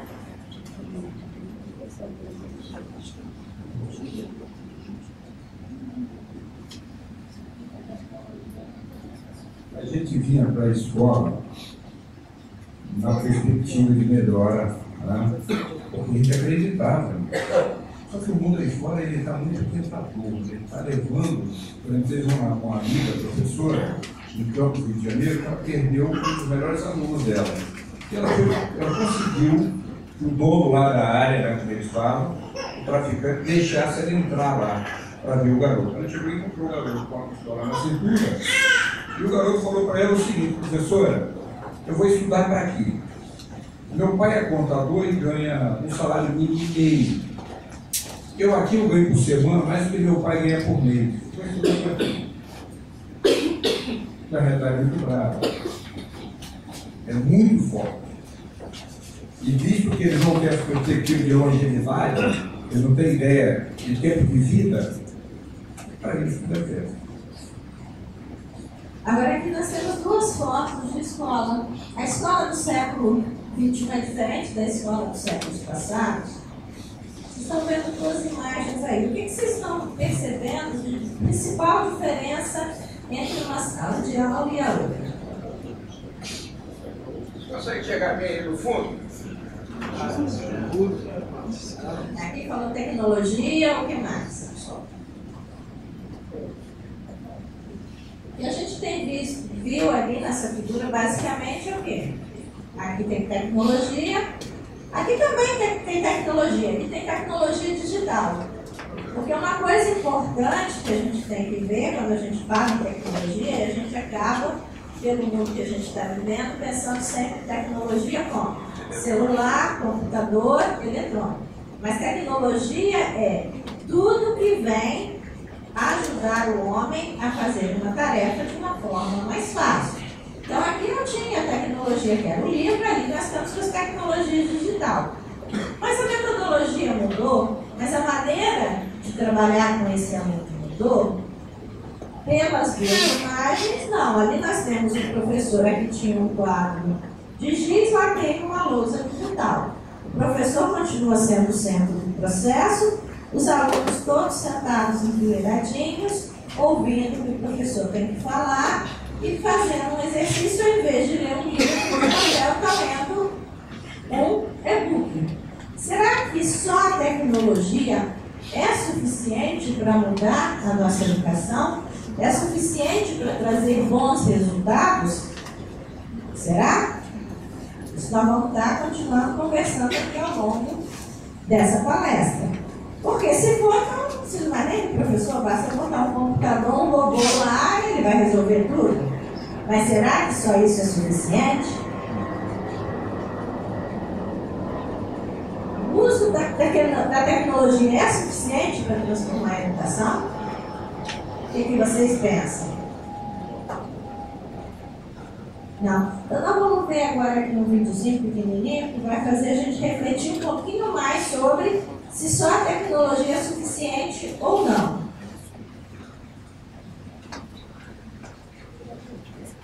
Ele não tem uma resolução muito boa, não, mas eu gosto muito dele.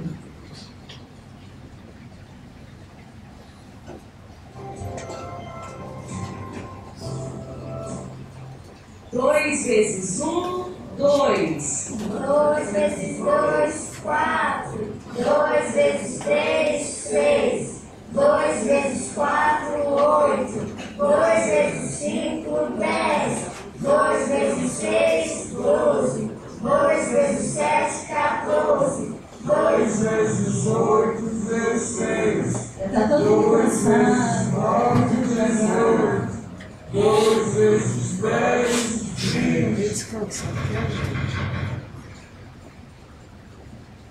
Prezado professor, é com satisfação que informo. A partir de hoje, a sua escola será moderna. Faremos uma transformação, professor. Vamos instalar novos equipamentos para que uma escola moderna, ou seja, uma escola do futuro. As novas tecnologias podem proporcionar uma educação com excelência. Você não continuará dando aulas com a tabuada antiga, vai poder utilizar ferramentas modernas.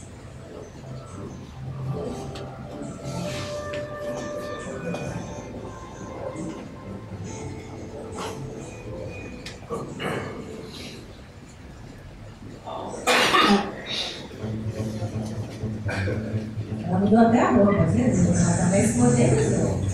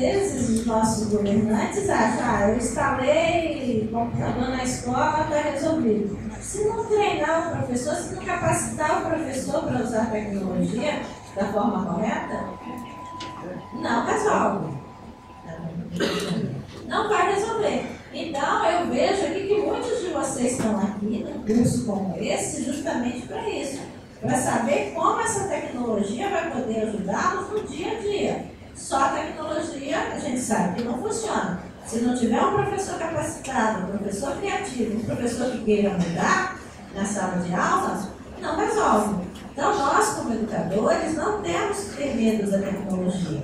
A tecnologia ela vem para nos apoiar, mas se nós não estivermos à frente disso, não resolve, não vai ter como melhorar a educação.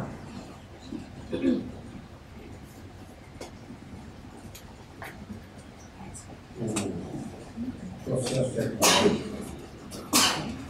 ele tem que ser utilizado à medida que eu aporto um conhecimento da utilização dele. Como é que eu faço? Não é só ligar e vou passar para você. Já encontrei em sala de aula, o professor considera que ficar passando vídeo é aula. Ficar passando filme é aula. Não, existe um momento para coisa. Vocês estão vendo que durante a palestra, um momento em que passa um videozinho para chamar a atenção de algum detalhe. Você pode fazer isso dentro de qualquer disciplina que você esteja dando. Está dando geografia. É um filmezinho lá que mostra um rio lá na Amazônia, que mostra um fenômeno qualquer, né? dentro dessa nossa natureza geográfica, esse espaço geográfico brasileiro ou mundial. Então você pode usar um recurso para você, você pode usar um filme, ou até considerar que o aluno assiste um filme, porque nós estamos agora revendo nosso conhecimento de história em geral, como assistir um filme pelo Netflix. Você pega lá o Henrique VI, lá com as seis esposas dele, você precisa saber da história lá da, como é que foi a unificação da igreja americana, isso, quer dizer, a gente tem que aportar um conhecimento, nós temos que é, empoderar o conhecimento, tá? para então poder utilizar aquilo ali de forma conveniente. E não simplesmente como recurso. Eu jogo lá e não é assim, não é? Mas por que algumas escolas têm sucesso quando implantam a tecnologia né, nos seus ambientes escolares e outras não? Por que alguns têm como um fracasso e outros não?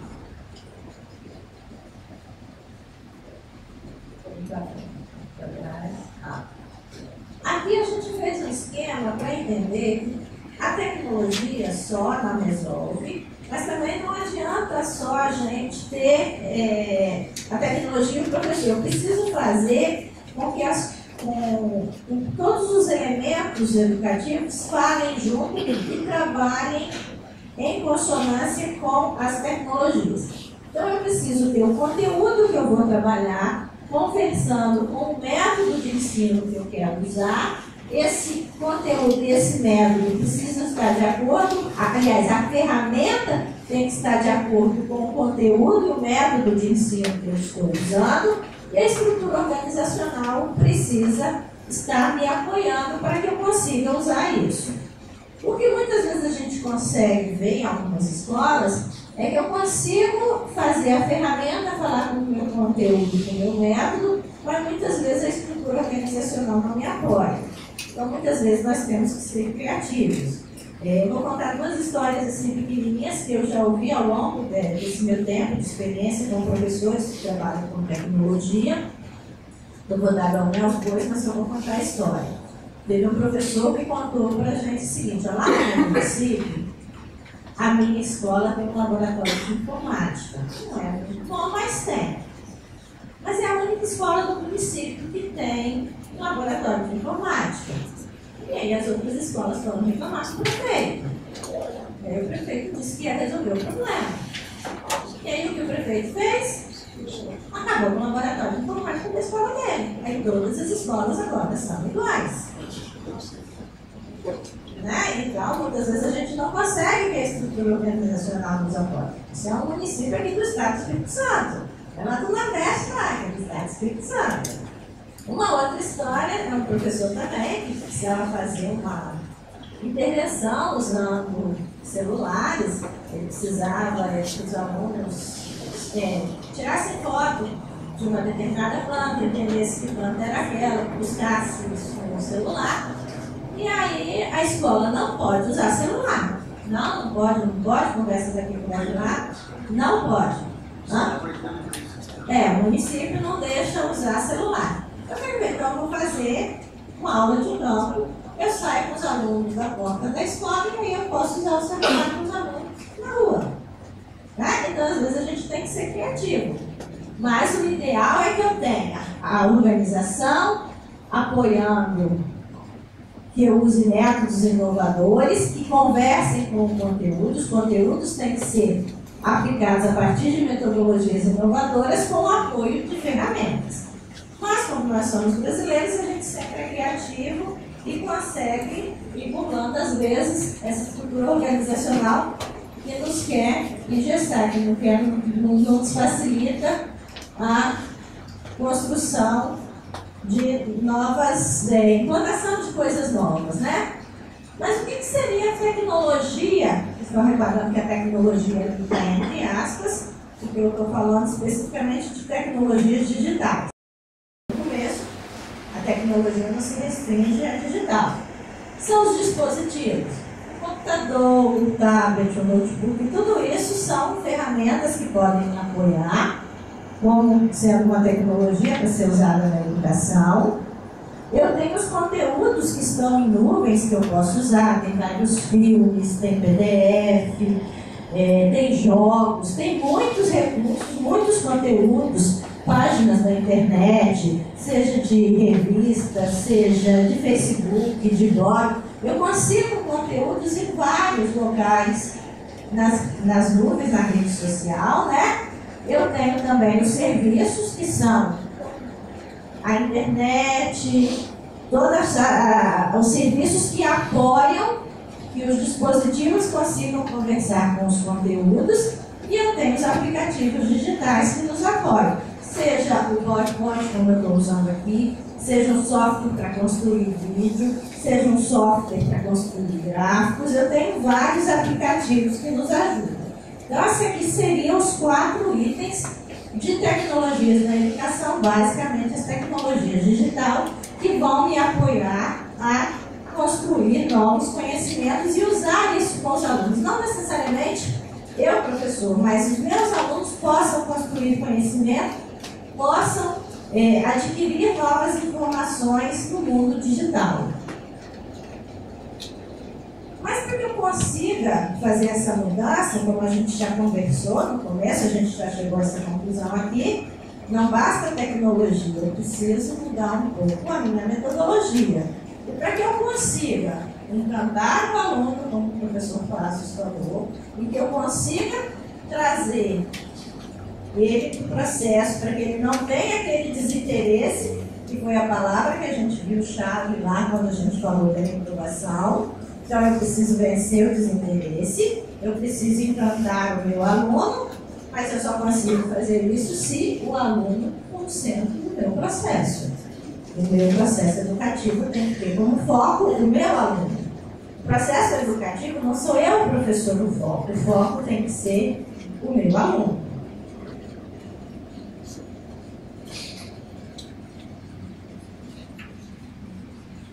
Pessoal, antes, antes mesmo de dar essa, essa sequência de pessoal, só um comentário para vocês. Não existe mais o professor que sabe tudo. No passado, o conhecimento era restrito, nós tínhamos o famoso catedrático, o cara sabe tudo.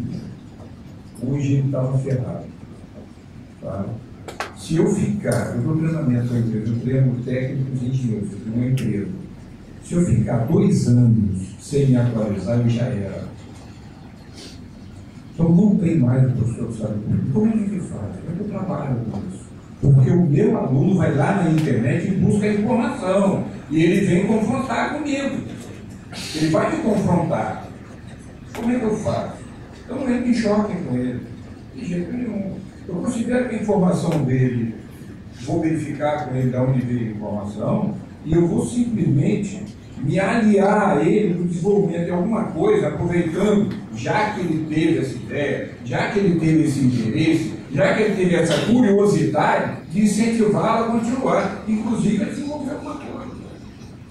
O que eu preciso é não desestimulá-lo, porque na hora que ele chega lá, o meu filho foi outro, passou em segundo lugar na, na engenharia mecânica, você abandonou. Foi fazer uma pergunta ao professor e o professor não para fora de sala. Ele gosta de ler, ele gosta de procurar coisa. Ele vai perguntar. Isso não quer dizer que ele está querendo humilhar a gente, está querendo nos diminuir, não. Isso é um processo dinâmico. E nós não precisamos saber tudo. Nós precisamos saber ser coaches. Você sabe o que é essa palavra? É coach. Aquele futebol americano, aquele cara que fica lá botando o pino, o cara vai, fica ali, você tem que fazer isso, você tem que motivar, você tem que incentivar, né? Na sua lei, tem que incentivar lá em frente. Quais são os elementos importantes do processo? A transmissão de conteúdos, né? Deve se dar lugar para o desenvolvimento de competências. Acabou aquele negócio que eu sou o dono do conhecimento. Eu pego o equipamento de empresa, um guindaste de plataforma, e cada um que vai chegando moderno, chega algo que eu não conheço. Como é que eu aprendo? Eu aprendo com um cara que está lá, ele sabe estar no dia a dia, mas nem sabe o que ele sabe. O que eu vou fazer é dar uma orientação do pensamento dele dentro daquilo que ele trabalha dia a dia. Eu pego o meu conhecimento anterior, jogo em cima do conhecimento dele, porque eu estou perguntando, eu estou fazendo um embate, estou perguntando, jogo em cima dele e devolvo. E no final sai lá com eles batendo palma. Porque simplesmente eu alinhei o pensamento dele. O que nós precisamos fazer é colocar o foco no aluno. Tem que tirar o foco de cima de mim. Eu não sou o dono da verdade. Vocês não são donos da verdade. O foco fica no aluno. Ele tem muito mais tempo que você, que tem turma, às vezes, tem 4, 5, 6, 8 turmas. Ele chega em casa, ele pega o computador e vai lá. Então, incentivo agora, oriente para que ele busque informação no lugar certo, porque também tem informações erradas na internet. Ok? Então nós temos que cortar isso aqui. Qualidade da educação, ela está pautada na capacidade profissional dos docentes. É só isso. E essa capacidade profissional não quer dizer que vocês são os donos, porque vocês não são enciclopédias, vocês são seres humanos. Até para se dar espaço de entender. Senão você vai ter que ficar, me envelhado todo dia estudando para poder estar. Calma. É só saber aplicar. E o uso da tecnologia na educação, ela permite criar ambientes de ensino e aprendizagem que facilite a aprendizagem do aluno. Você não tem que ter, mas na hora que você der para ele né, um endereço, você disponibilizar num site, você disponibilizar no seu Facebook, não confunda o Facebook pessoal, você vai lá pôr aquela foto de, de calção na praia, um otário que está queimadão no sol tal, lá para a namorada, ou a namorada de biquíni para você, e não confundir isso com isso que você vai usar com seu aluno. É só isso. Abre espaço para ele, usa a mídia no geral para isso. Você está facilitando. E ele vai buscar, ele vai ficar feliz. Aí ele vai chegar em sala e vai confrontar, e você vai falar ele, não, realmente, olha, tá vendo, para mim é isso, tal, blá, blá, blá. Você vai dar orientação. Mas ele mesmo já vai buscar. Tranquilo? Então é tirar o foco da gente para ele. Agora, sempre lembrando disso. Nós somos os profissionais de educação. Ele vem a gente. Ele não sabe nada, ele está buscando, ele está querendo aprender, ele está querendo uma profissão, ele está querendo um caminho. E a responsabilidade de dar esse caminho é nossa. Aí não tem jeito. Nós não perdemos isso, pô. O orientador, o que está lá, o que levanta a bandeira, somos nós. Tranquilo? O que seria essa felicidade centrada no aluno? Eu preciso que o aluno tenha uma participação ativa no estudante. Quando a gente fala em aprendizagem no aluno, ele tem que trabalhar, ele tem que desenvolver. Porque o conhecimento é uma coisa interna de cada um, é intrínseca do aluno. Eu não consigo dar conhecimento, ele tem que construir esse conhecimento. Mas se ele fica passivo, ouvinte, ele não vai conseguir construir esse conhecimento. A aprendizagem tem que ser cooperativa. Eu tenho que fazer com que os alunos se ajudem mutuamente. Muitas vezes um colega consegue explicar para o outro colega de uma forma mais, é, mais perto da realidade do aluno que às vezes é o professor. Então eu tenho que aproveitar ao máximo essa cooperação entre os alunos, botarem para eles trabalharem de forma cooperativa. Acabar com a ideia que a gente tem no Brasil de é, ter uma um ensino onde as pessoas não querem ser melhor do que outro numa competição. A gente tem que acabar com a ideia de competição para trabalhar com a ideia de cooperação. A interação frequente com os recursos e feedbacks integrados. Eu tenho que, ao longo do processo, estar retornando o tempo todo para o aluno. Se ele está seguindo o caminho certo, se ele precisa corrigir alguma rota. Não adianta eu querer, ao final da minha aula, ao final do meu curso, seis meses depois, um ano depois, dizer, olha, você não aprendeu, que pena. Isso aqui foi uma coisa que me chamou muita atenção, né? Chamou a atenção da gente quando a gente estava na Finlândia, porque lá eles dizem para a gente o seguinte, aqui a gente tem três notas, um, dois e três, um é suficiente, dois é bom e três é muito bom. Eu, como boa brasileira, olhei para a cara deles e falei, e o zero? O zero é aquele que é insuficiente para ficar reprovado. Ela olhou para mim e falou assim, mas por que o zero? Aí eu fiquei assim, né, aquela assim, você escuta os grilinhos, cri, cri, cri, e como responder para ela? Sim, porque se você ficou com o seu aluno seis meses, um ano, ele ficou insuficiente, o que, que você fez para mudar esse cenário? Porque lá eles não fazem avaliação só ao final. Eles avaliam o aluno durante todo o processo, durante toda a aula, eles sabem o que está acontecendo. Eles trabalham muito individualmente, eles conseguem enxergar muito individualmente os seus alunos. Ah, mas quantos alunos tem na sala? Tem 25 a 30 alunos. Não é tão menos do que uma sala de ensino fundamental nossa, né? Mas eles trabalham, muitos alunos trabalham em grupos, fazem tarefas em grupo, e o professor tem tempo de ir passando em cada grupo e vendo o que, que está acontecendo. Né? A tecnologia também ajuda um bocado essa individualização, esse processo de eu conseguir conhecer um pouco mais o meu aluno. E eu preciso fazer conexões com o mundo real. Adianta eu querer falar para o aluno sobre um tema que não é realidade dele, sobre coisas que para ele não fazem sentido. Aí tem a história, conta aquela história do como viu aluno.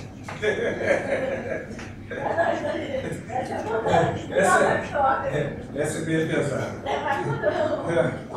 É que o colega da estava um tarefa queria falar, né? Porque no nosso, no, nosso, no nosso período de estudo fundamental, né, havia uma cartilha.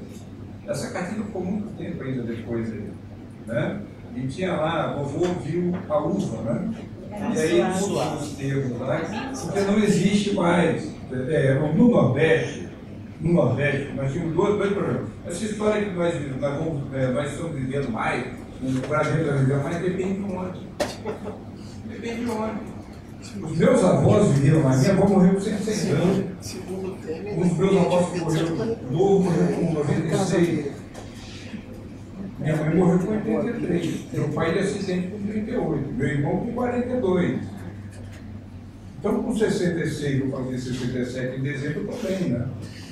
Mas estou dizendo, nós vamos viver mais. E professor nessa luta insana que a gente vive, nós vamos conseguir chegar aos 90, nós vamos, nós vamos infartar antes. ok? Então, e no Nordeste é pior, que aí era o problema dessa, dessa cartilha. Vovô viu a uva, no Nordeste a maioria não conhecia o avô, porque o avô morreu com 40, com 42 anos, por problema de alimentação, vocês sabem disso, que é um dos problemas que mantém a longevidade. Né? E muito menos a uva que não tinha. Agora não, agora até o gaúcho já conseguiu levar a uva para cima, né? Mato do Paraíba, não, esse hoje nós temos, temos uva. Mas nem isso. Então não precisa do resto, o resto é pesado. Querem? Jorge? Tem que ser maior de 60. Então, se a gente não disser um contexto real para o aluno, adianta. Vou ficar ensinando lá o aluno, vou para ele não sabe o que é o que não sabe, não conhece a uva. E Paulo Freire sempre disse isso para gente. A gente tem que ir no contexto do aluno, na realidade do aluno, né? Então, se eu não fizer isso, eu não vou conseguir encantar, eu não vou conseguir gerar interesse do meu aluno. E o papel do professor ele tem que ser um orquestrador, ele tem que ser um coach. Ele que tem que fazer com que os recursos e as referências, ele traga isso para os estudantes, né? Como orquestrador dos recursos e referencial que os estudantes vão utilizar nas, no seu processo de aprendizagem. O processo de aprendizagem é do aluno, o professor, ele ajuda esse processo. E aí nós temos a aprendizagem ativa, que é um tema que está, vamos dizer assim, está em voga, não é algo novo. Isso sempre existiu com outros nomes, com outras características, mas é o quê? Eu ter o estudante aprendendo melhor quando ele participa ativamente da construção. Quando você está, se eu chegar aqui e falar para você, ó, vou te ensinar a fazer uma comida, você faz assim, assim, assim, assim, assim, assim, assim, assim, legal? Não, você pode chegar em casa e tentar replicar aquilo. Mas se eu venho com você aqui, vamos fazer uma comida? Eu preciso fazer isso, primeiro isso, depois aquilo, a gente vai construindo junto. Você já se apropriou daquele processo. E aí, então, quando você tiver que fazer sozinho, você já sabe, porque você se apropriou. E às vezes você até modifica durante essa construção, mas você se apropria do conhecimento. Então, a aprendizagem ativa é quando eu vou trazer o aluno para o centro do processo, por meio de uma combinação de experiências, interpretações pessoais e interações com estruturas com seus colegas e os seus professores. Pessoal, eu tenho dois exemplos interessantes aí. Um deles é uma escolinha, né?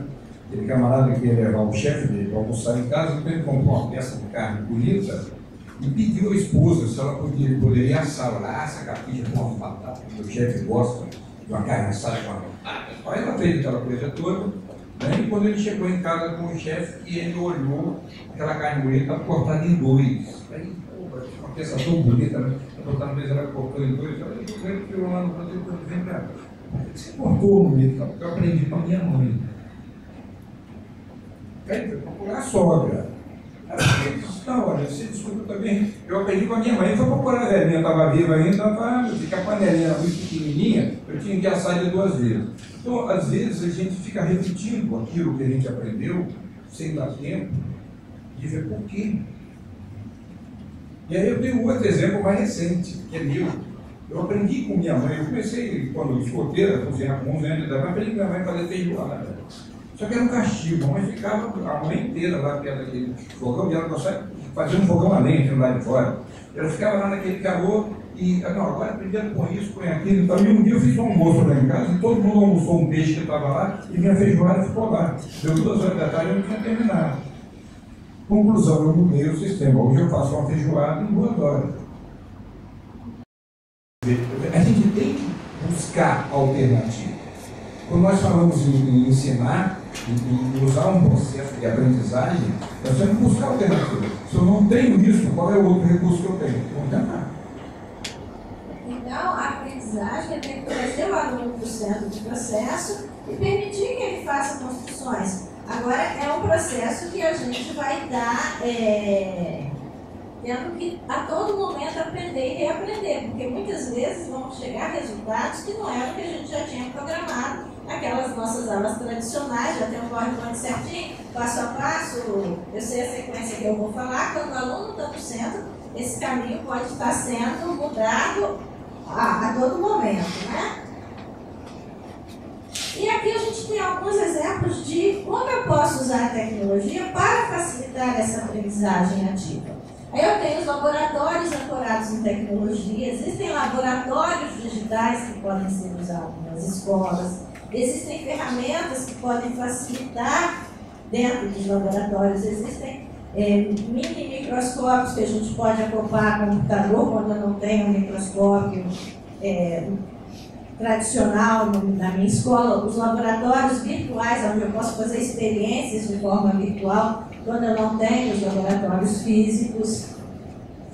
Projetos de criação de conteúdos, criação de vídeos, criação de blogs, de páginas web. Tudo isso eu posso estar usando com meus alunos. E aí os meus alunos passam a ser produtores de conhecimento, não somente consumidores de conhecimento. Mas o aluno por si só ele não consegue fazer isso se ele não tiver a orientação do professor. O professor tem que saber orientar o aluno. No uso da tecnologia, mas na construção de conteúdos que tenham coerência, conteúdos que sejam reais, que, que tenham é, embasamento teórico por trás, né? E projetos de criação, empreendedorismo, existem vários projetos que podem ser apoiados pelo uso de tecnologia. Principalmente a metodologia PBL, que é a metodologia de aprendizagem baseada em problemas. Essa metodologia, ela precisa muito do apoio da, das tecnologias. Agora, é, vamos falar um pouquinho da aprendizagem cooperativa. É, só, só iniciando aqui o que eu estava falando, é, o IFES tem aqui, ancorado nele, uma. Como é que é? chama aquela.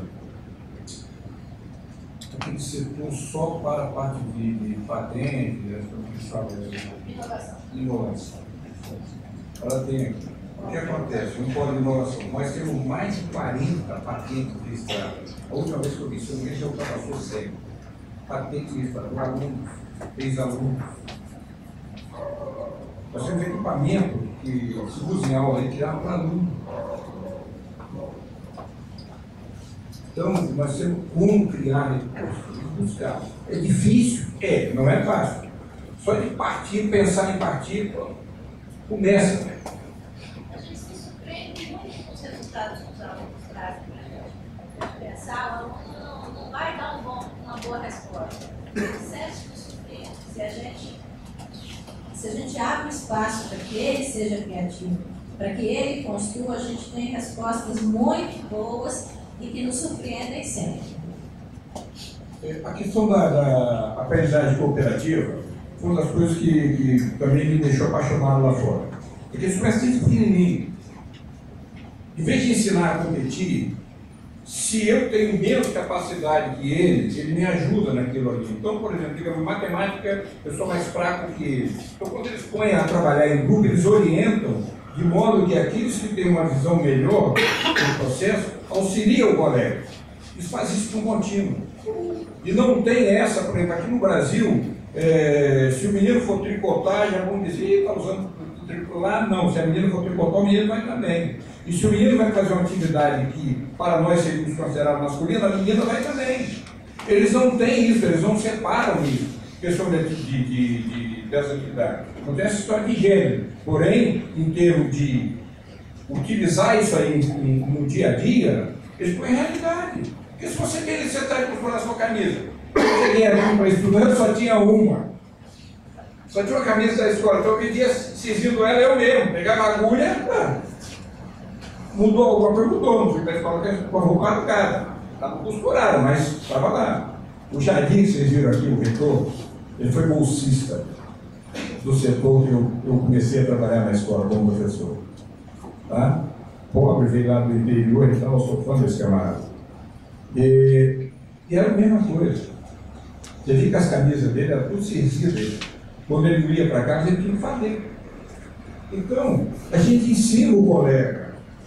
Ali no dormitório, eu aprendi muita coisa com os colegas. Olha, passa isso. Por que, não podemos fazer isso em sala de aula? Por que, não podemos aproveitar a capacidade do melhor para ajudar, para ele não perder aquele aluno? O pior crime que nós fazemos é perder aquele aluno, mas esse é fraco.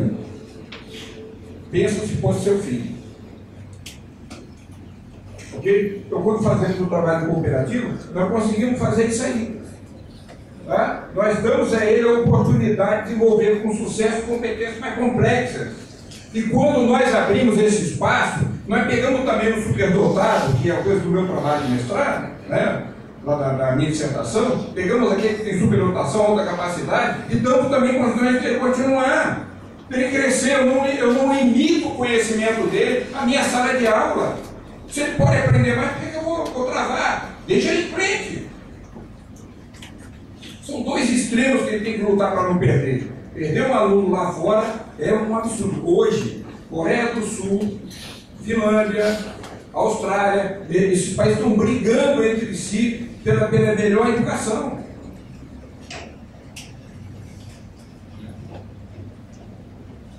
É, algumas ferramentas que a gente pode utilizar para apoiar esse trabalho cooperativo, né? que seria, por exemplo, Facebook, Twitter, Edmodo. São ferramentas que permitem que os alunos interajam fora da sala de aula, não só nos momentos presenciais, como também a videoconferência, webconferência, eu posso fazer com que eles interajam entre si com colegas de outras escolas e às vezes até com especialistas de temas que estejam dispostos a trabalhar com os nossos alunos. Nós vamos ver mais para frente, eu vou passar um vídeo pequenininho, que mostra, é, mais ao final, né, que é, instituições como, por exemplo, a NASA, eles têm projetos que permitem com que os nossos alunos se contar, é, tenham contato com cientistas da NASA nos Estados Unidos para fazerem projetos conjuntos. Fóruns de conhecimento, onde a gente pode tirar dúvida e trabalhar com informações e mesmo produzir conhecimento para esses fóruns, né? Deixa eu passar, eu vou passar agora um vídeo, um pequeno vídeo para vocês, que mostram dois projetos que trabalham com aprendizagem centrada no aluno, trabalham com PBL e, para isso, usam as tecnologias. Os dois projetos são numa escola pública em São Paulo.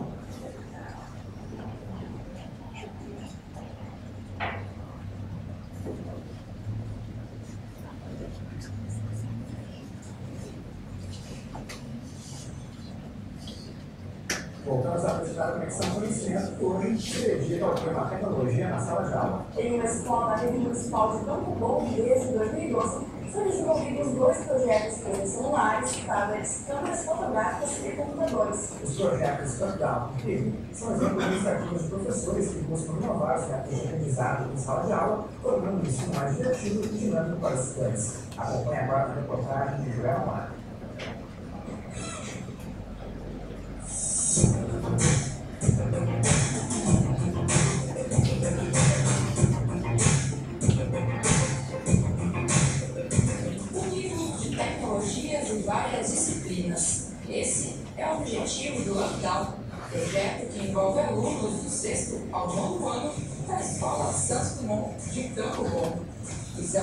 Estudantes está em desenvolver uma web novela a cada ano. Para que tudo dê certo, cada um recebe uma função diferente. A gente é a parte técnica do lugar. A Andressa também traz vídeos de elaboração de repórter, mas mesma coisa a gente produz início só na parte técnica. A gente edita, coloca em edição. Eu já sou mais da parte da filmagem, entendeu? Eu já fui ator duas vezes, mas agora continuo na filmagem. A iniciativa surgiu há três anos a partir de um problema verificado pela escola, uso excessivo de celular durante as aulas. Desde então, diferentes dispositivos são utilizados como parte da atividade. O principal desafio, então, para utilizar essas tecnologias em sala de aula com os alunos foi de eles terem um foco realmente no aprendizado com esse equipamento. Então, esse foi o principal desafio, né? De eles não se dispersarem para outras coisas, para redes sociais e para outros crimes com o celular. Então, esse foi o principal desafio.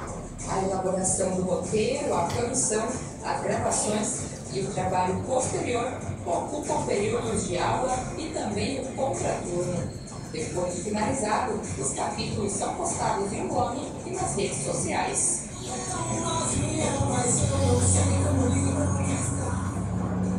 Alguém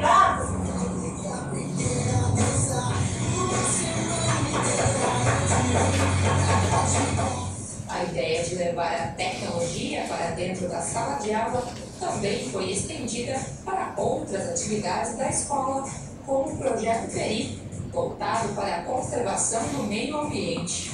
Nele, os alunos realizam o monitoramento das águas do arroio Peri. O projeto PERI, ele recebe esse nome porque é Projeto Educacional de Remapeamento Interdisciplinar. Ele também é o arroio que passa próximo da nossa escola.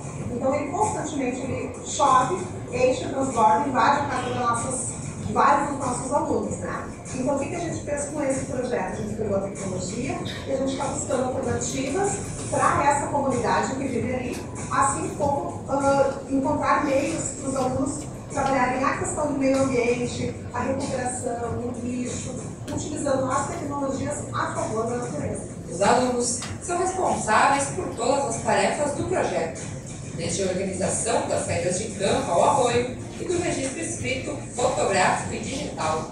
O professor é apenas o observador e o orientador do trabalho. Eu venho fazer com a saída de campo, que a gente vê como é que é o nível a atualidade, ajuda a fazer outros trabalhos, ajuda no projeto, como organizar o portfólio, organizar as coisas que tem que levar, ajudar nas fotos, essas coisas.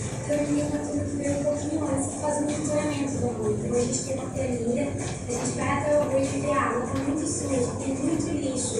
Assim a gente vai vai ter um controle de como tá Além de realizar os registros físicos, os alunos também são responsáveis pela divulgação do projeto Peri nas redes sociais.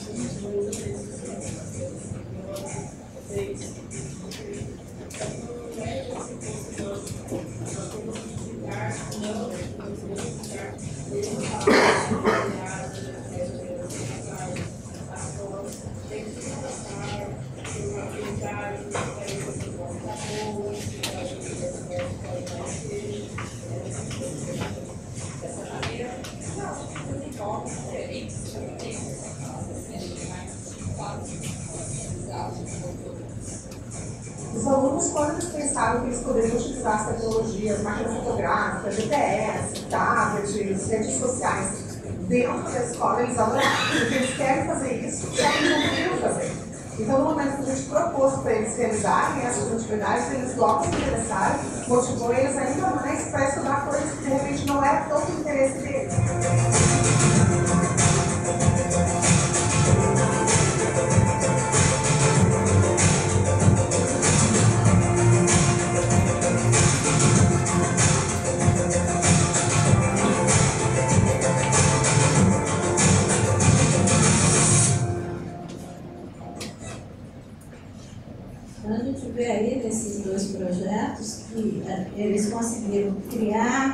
PBL, porque é baseado em projeto, geraram uma interdisciplinaridade. A partir dessa interdisciplinaridade, eles conseguiram envolver os alunos, os alunos passaram a, a se envolver intensamente nesse processo, né?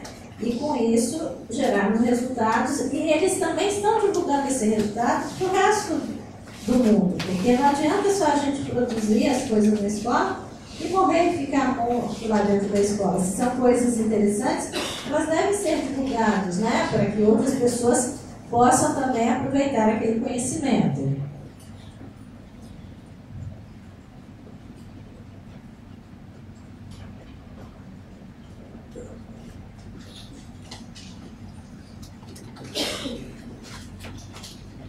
Geração em feedback, é importante que a gente tenha interação, né? os alunos interajam bastante e que gerem feedback para que aquela, as ideias, aquele processo dê bons resultados. Como que nós podemos usar, e que ferramentas a gente pode usar para facilitar essa interação e esse feedback com os nossos alunos? Por exemplo, a gente pode usar gráficos interativos que na hora que o aluno coloque os dados, ele já veja no gráfico que aquilo pode chamar a atenção de que a experiência que ele fez não deu muito certo. Por exemplo, ah, eu, fer eu botei uma água para ferver e botei lá no gráfico e aparece que ela ferveu abaixo de 100 graus, mas ela não teria que estar nos 100 graus. E aí eu vou começar a pesquisar o que, que aconteceu. Porque uma forma visual, às vezes, me dá um retorno do, da experiência que eu fiz ou do que eu produzi mais rápido do que só a parte escrita, um texto. Manter o aluno envolvido por um longo período de tempo, porque ele vai estar ouvindo a resposta e refazendo e reaprendendo e tentando novamente. O feedback tem que ser imediato. Então, muitas vezes, eu posso estar fazendo isso através de uma rede social ou de um programa que dê resultados, como às vezes a gente tem na escola.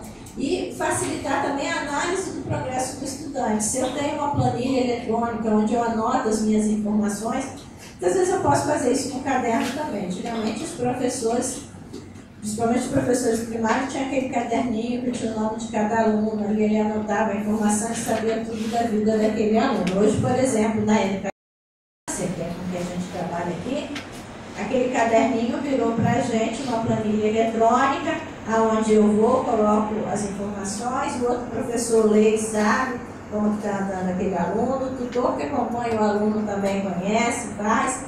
Isso tudo ficou mais fácil com o uso das ferramentas digitais. Então, a gente vê que nem sempre é só no processo final de construção do conhecimento do aluno, mas como apoio ao professor em todo o processo educativo, né? Aqui é muito mais.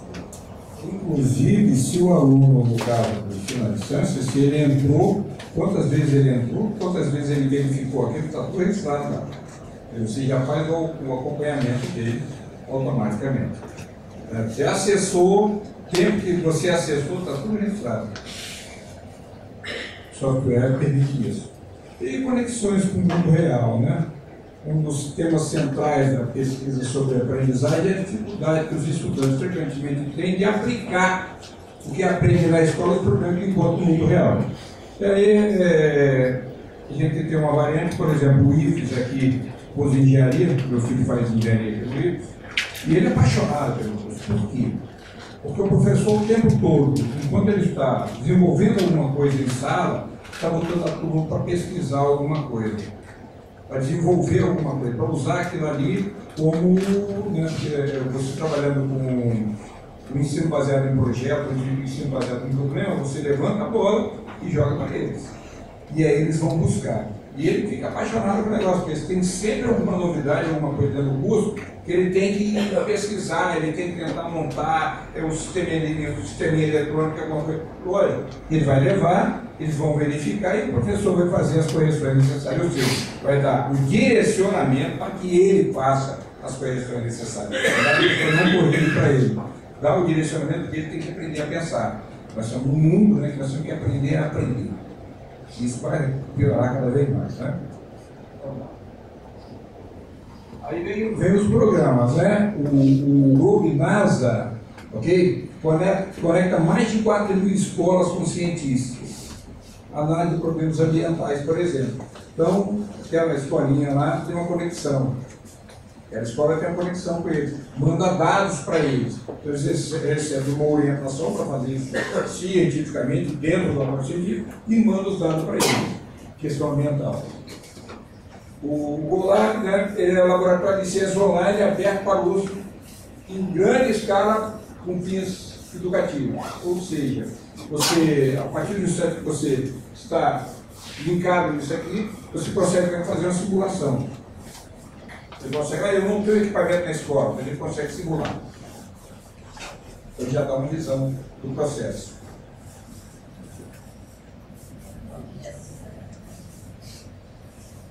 Muitos desses projetos, eles têm conexões com escolas públicas. Agora, as escolas têm que procurar. Né? É, não são o... Eles não vêm atrás das escolas. As escolas teriam que procurar para conseguir essas parcerias. Esse vídeo explica um pouquinho do projeto Globo. Servidores da Agência Espacial. Em julho, teve workshop do programa Globo da NASA no Brasil. A iniciativa faz parte de uma parceria entre as duas agências responsáveis pela capacitação de profissionais que irão trabalhar em sala de aula com educação ambiental. A gente entendeu que a atividade ela é uma atividade legal de fazer, chega a ser uma atividade mais lúdica, assim. Então, eu imagino que os estudantes, dentro do dia a dia deles a escola, poder fazer aquelas atividades lá é uma coisa que vai chamar a atenção, eles sempre querem fazer, porque é, é divertido. Os dados depois podem ser utilizados por cientistas que vão confiar, porque os dados que vão coletados da forma correta, com poucos dados que os cientistas vão precisar. E para os estudantes também, eles devem estar lá na escola, começar a entender que é, seguir o processo, seguir em rigores esses métodos científicos vão, ser, vão contribuir já desde agora com o programa Moro e podem contribuir no, na, na vida profissional deles futuramente. Né? Se eles ficarem na área de ciências, é uma coisa A bióloga bióloga Cláudia Caro e a coordenadora do Globo na Argentina, Marta Kinsman, foram responsáveis pelos treinamentos no Brasil. Cláudia explica os principais objetivos do programa, que hoje está presente em mais de 100 países. O principal objetivo do programa é melhorar o conhecimento do ambiente localmente. Isso significa principalmente a volta da escola. Depois vamos melhorar o conhecimento do ambiente a nível regional e também vamos melhorar o conhecimento do ambiente a nível global. Esse é o principal objetivo do programa. O segundo objetivo é melhorar a capacidade do estudante de entender por que está aprendendo alguma coisa empoderar os maestros para que consigam fazer muito mais significativo a aprendizagem, gerar informação ambiental de importância local e de importância mundial. Durante os três dias do workshop, os professores e servidores participaram de palestras e oficinas na sede da EB.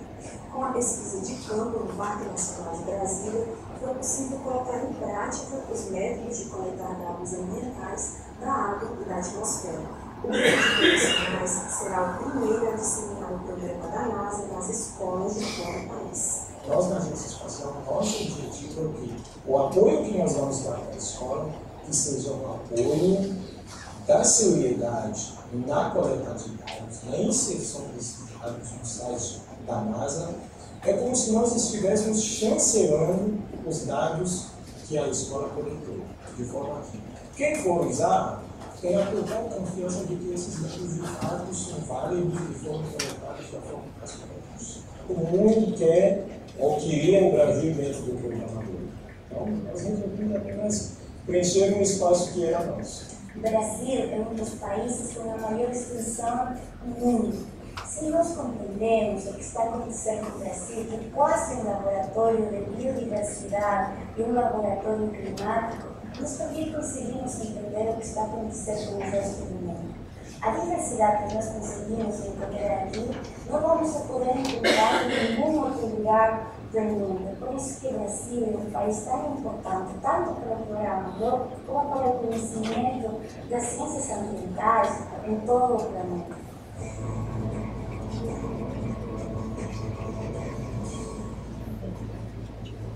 Então vocês viram aí que aí eu estou fazendo com que aquilo faça sentido para o aluno, porque ele está fazendo algo que é real, que ele sabe que é uma informação que vai para o resto do mundo.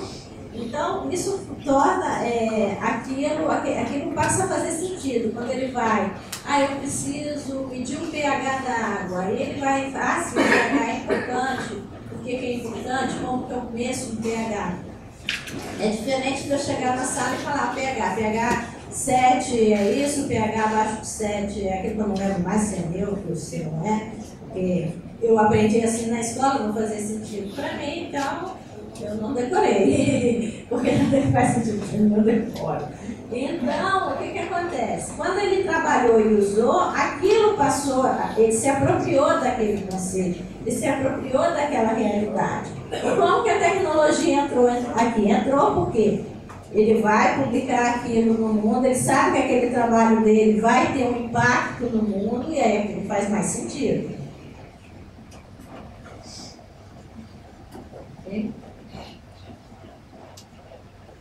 Assim.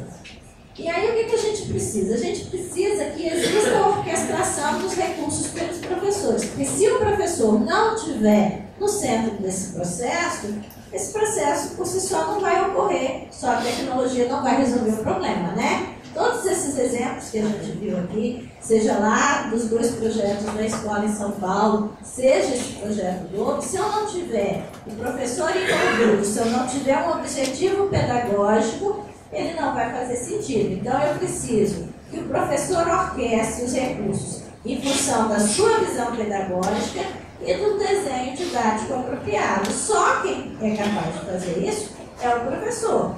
Ele é quem vai conseguir fazer isso e orientar o aluno no uso dessas tecnologias.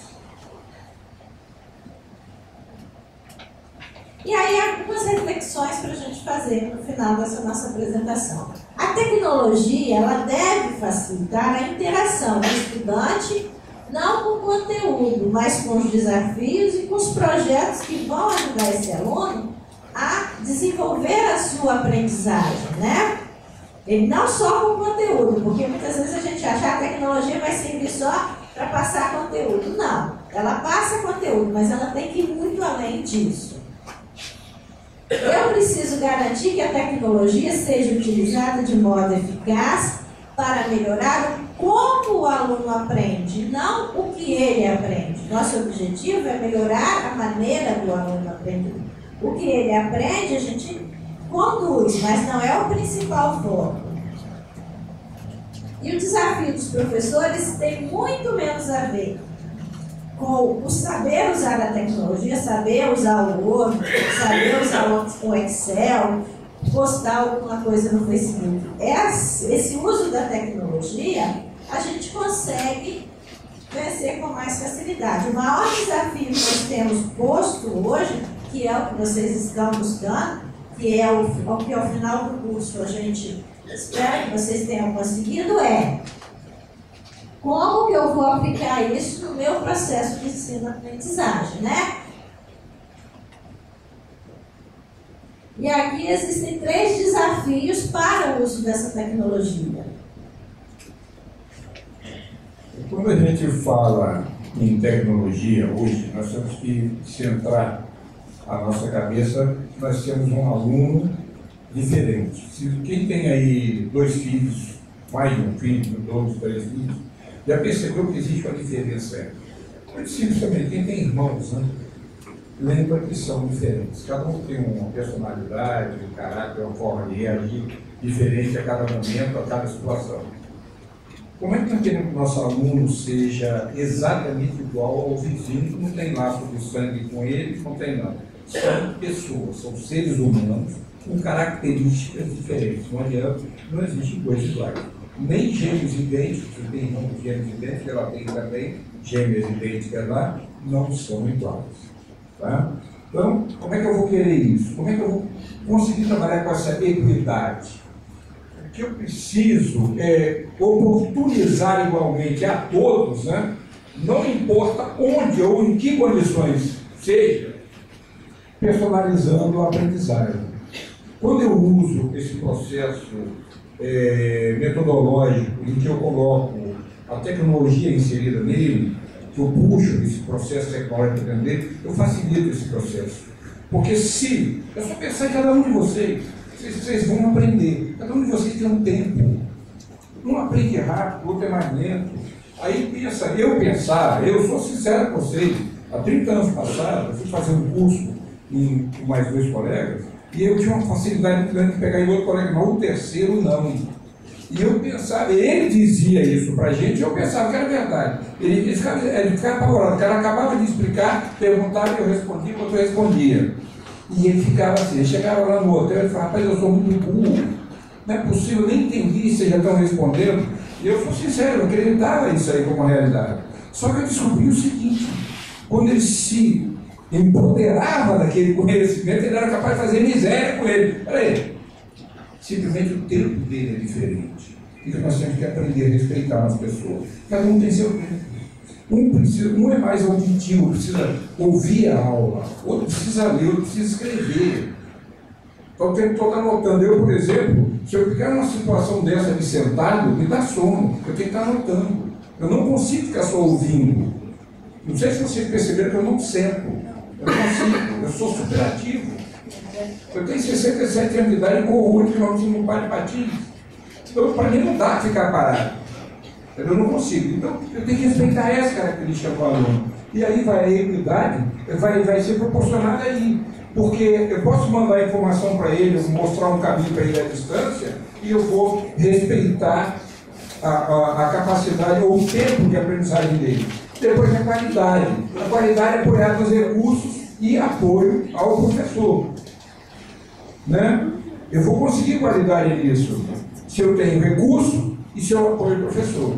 Esse, esse, por sinal, é um dos grandes desafios dos maiores para a gente, né? Ter o recurso e ter o apoio. Vamos lá. E contemporaneidade, isso aqui é mais sério. O que eu estava falando? O garoto de 15 anos eu já estou vida. Então, como é que eu consigo chegar no ambiente dele? Eu tenho que trabalhar com alguma coisa que seja no ambiente dele. Ok? Não adianta eu querer me afastar. Eu usar o método que o meu, o meu professor me ensinou lá na universidade ou quando eu fazia escola técnica. Eu tenho que trazer para a realidade dele. Isso é contemporaneidade. Beleza? E aí nós, nós vamos conseguir vencer esses, esses desafios. Pense nisso e responda. Olha só, a educação infantil é outra coisa seríssima para a gente pensar. Educação infantil, mais o ensino fundamental, tem duração em torno de 10 anos, não é isso? Vamos lá, 10 anos da vida do garoto. Se ele começar agora em, em, em 2018, nós vamos observar agora o cenário. Vai lá.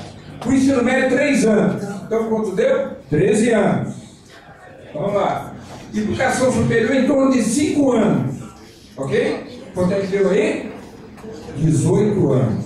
Ou seja, se ele começar a estudar o ano que vem, 2018, em 2036, né, nós vamos ver ali, ele vai estar concluindo a graduação dele. Considerando que hoje todo mundo já está querendo doutorado, você imagina em, em 2036 como é que vai estar o nível de crescimento, a procura, a loucura em cima disso aí. E o que é pior, a mudança passa a ser cada vez mais rápida. A cada ano que passa, o sistema amplia a informação estupidamente, não tem cabeça para aguentar. Então ele vai ter que estar sempre a aprender uma coisa, aprender a aprender, e que existe um negócio chamado educação continuada, ele não vai parar nunca. Ele vai ter que estar se adaptando, se adaptando a todo momento. Mudou de empresa, opa, o que tem? Antes de mudar, ele tem que estar se preparando, senão ele muda. Essa é a verdade. Imaginem isso aí, vocês vão trabalhar com isso. Aí vem estaremos, né? Ou estamos, ou estaremos a partir desse ano, em 2018, preparando essa criança para o futuro.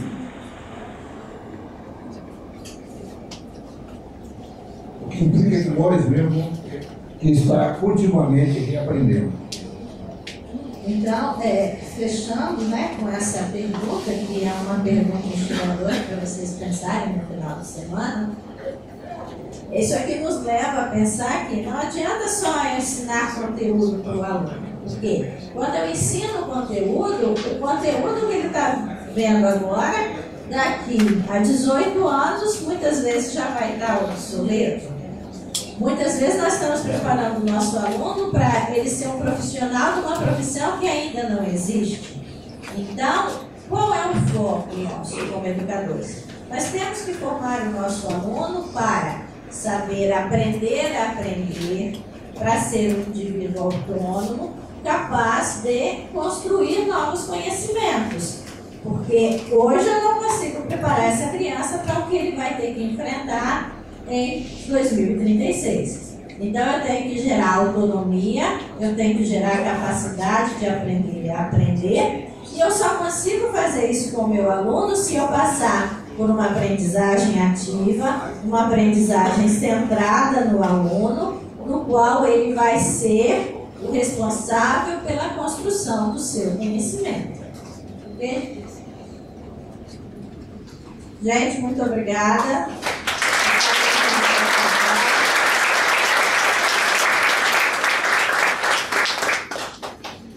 Pessoal, obrigado. Um bom final de semana para vocês.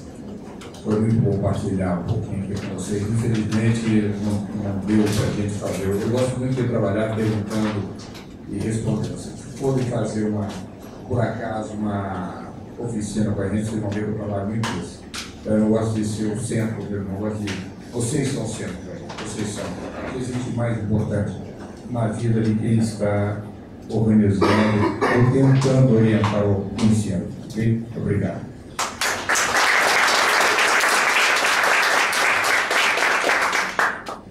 Você vai entregar um pequeno agradecimento ao a professora Marise, pelo seu passos, agradecer mesmo toda, todo esse compartilhamento de conhecimentos, com certeza muitas ideias fervilharam nas nossas cabeças, né?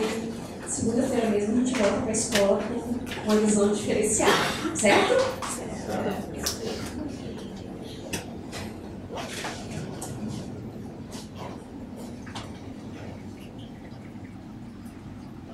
Agora, a professora Rutinelli, coordenadora do curso, e demais professores irão apresentar algumas informações importantes aos alunos.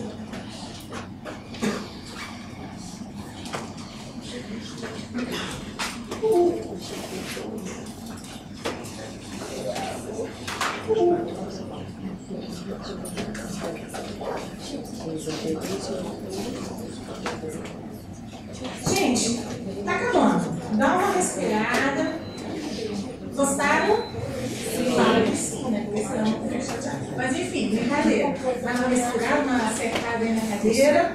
É, vou fazer um informe que eu fiz para alguns, não sei se todo mundo ouviu, a previsão de término é até 12h30. Aí eu falei assim, a quem me mandou primeiro, falei assim, olha, mas é previsão, tá? Mas a gente está dentro da previsão, então essa é a boa notícia. A notícia é ruim ainda falta tempo que vocês vão mais É só a apresentação agora das questões mais administrativas, tá bom? Então vamos lá. Não vamos não, espera mais.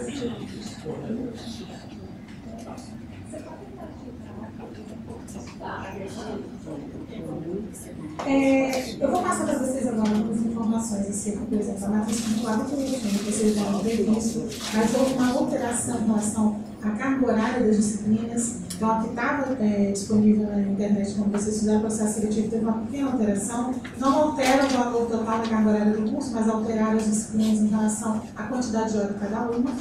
É, também vou apresentar as professoras, vocês vão conhecer. Você, quem já fez o acesso sabe que a primeira sala está aberta. Essa primeira sala, as duas primeiras professoras sou eu, a professora Mariela, também vou apresentar aqui alguma coisa. E aí a gente fica mais com essa, essa conversa que é informal, se vocês tiverem dúvida, podem falar. Se for muita coisa de dúvida, eu vou encerrar por causa do tempo. E quem tiver com essa dúvida, coloca lá na nossa sala ou manda por e-mail para mim e eu respondo, tá bom? Obrigada, professora Marisa, professor Cássio.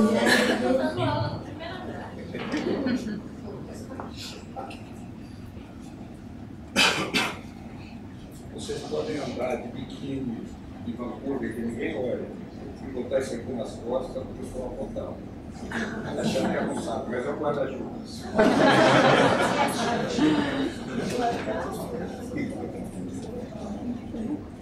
Não sei se você gosta da tecnologia, porque a gente fica esperto, aprender a enrolar. Vai dar. Não. Isso. Não é isso. Vai no view lá em cima e bota start. Lá no de cima.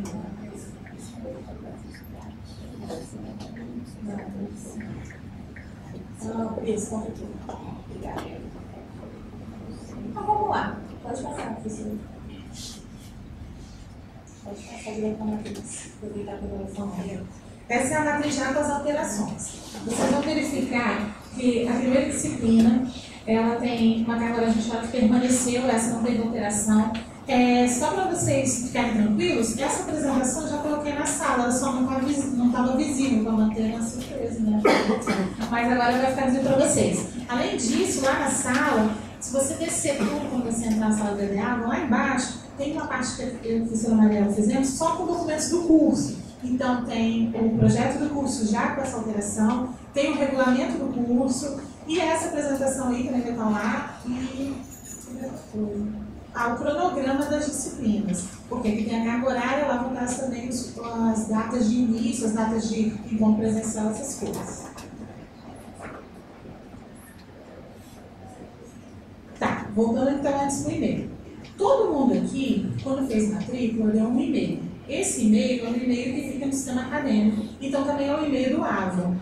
O, o AVA envia automaticamente para vocês quando é processada a matrícula. Então, quem, por exemplo, fez a matrícula depois, que foi convocado para o suplente, talvez não tenha recebido ainda, é normal. Mas quem já fez a matrícula tem que ter recebido. Pode acontecer algumas coisas. Pode ir para o lixo, o, o e-mail às vezes não reconhece que é a primeira vez que o AVA manda. Então você tem que procurar no lixo eletrônico, você tem que procurar no lixeiro, dependendo do seu e-mail. E também pode acontecer de, quando foi feita a matrícula, você dar algum probleminha no e-mail. É difícil, mas pode ter acontecido também. Todo mundo tem que acessar. Então, o que a gente já tentou fazer hoje? O Adel estava lá embaixo para poder tentar viabilizar essa entrada aqui com nossa orientação e tal. Se você não conseguiu fazer isso hoje, você tem ainda dois dias úteis, então é segunda e terça. Quem não conseguir acessar, ou não recebeu, ou não achou, precisa Além de tentar, né, olha na lixeira, dá uma olhada no lixo eletrônico, visualiza lá no seu e-mail. Quem não conseguir de jeito nenhum, também tem aquela opção de esquecer a senha, mas se você não conseguiu, não recebeu, tentou de tudo, não conseguiu, aí você manda o e-mail da coordenação que está aqui também para passar na apresentação, que não é esse Esse também dá para mas esse não é oficial. Eu prefiro que vocês mandem para o e-mail oficial do IFES, porque aí com certeza fica registro que você está tentando acesso, tá bom? Aí eu vou tentar resolver com a TI, eu estou na família, o que aconteceu. Mas se, você quer acessar e você está tentando acessar, você vai conseguir, tá bom? Só não deixa para depois, não está conseguindo pouquinho, porque você acessar, depois da sala de a gente vai falar de?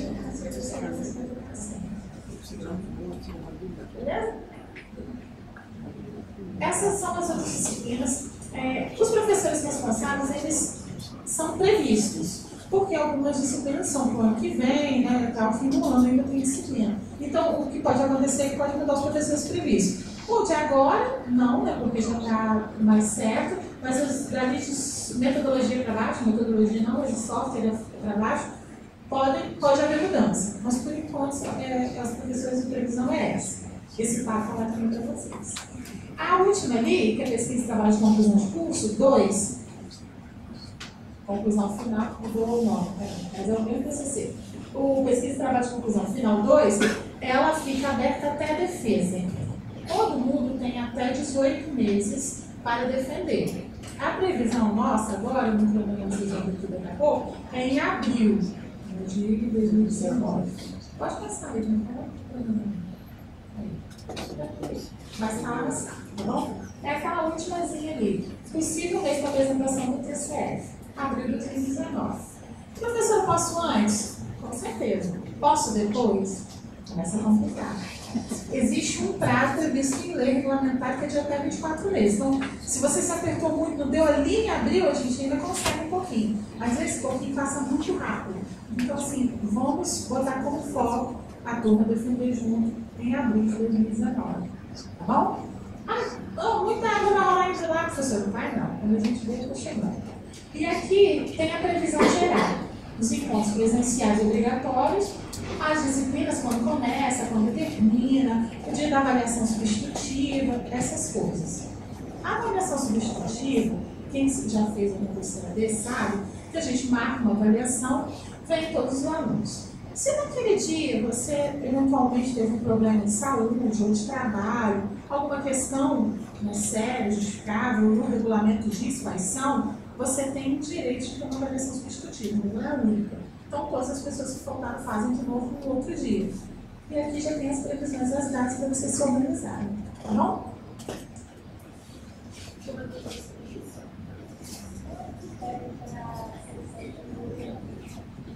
Os orientadores, primeiro, são os professores das disciplinas, né, do, do próprio curso. Então, assim, é, eles já são cadastrados porque são do programa. Havendo a necessidade de outros orientadores, então, se não fechar o número, porque às vezes o orientador pode pegar um, dois, três aí, gente fecha, às vezes pega um sol. Havendo isso, a gente está para os próprios professores do CEFOL. Isso é do IFE, é do próprio instituto. Varia. Por exemplo, né, vamos dizer que você quer muito trabalhar com robótica. A partir de um projeto você vai fazer um curso todo. O nosso ideia não é chegar para você ensinar e agora o que eu vou fazer? Tem um projeto que ele perdeu o curso. Você viu que esse projeto está muito assim, com afins com o que a professora Mariela está trabalhando. Ela trabalha com então isso acaba acontecendo naturalmente. Mas um projeto assim, que a gente não tem muita afinidade, vai precisar ter uma conversa, talvez com o seu interesse, com o interesse do professor. Mas a gente que sempre dar essa vamos dizer assim, fazer esse casamento dar certo, né? Priorização é o casamento. Tanto ser do interesse do orientador quanto ser.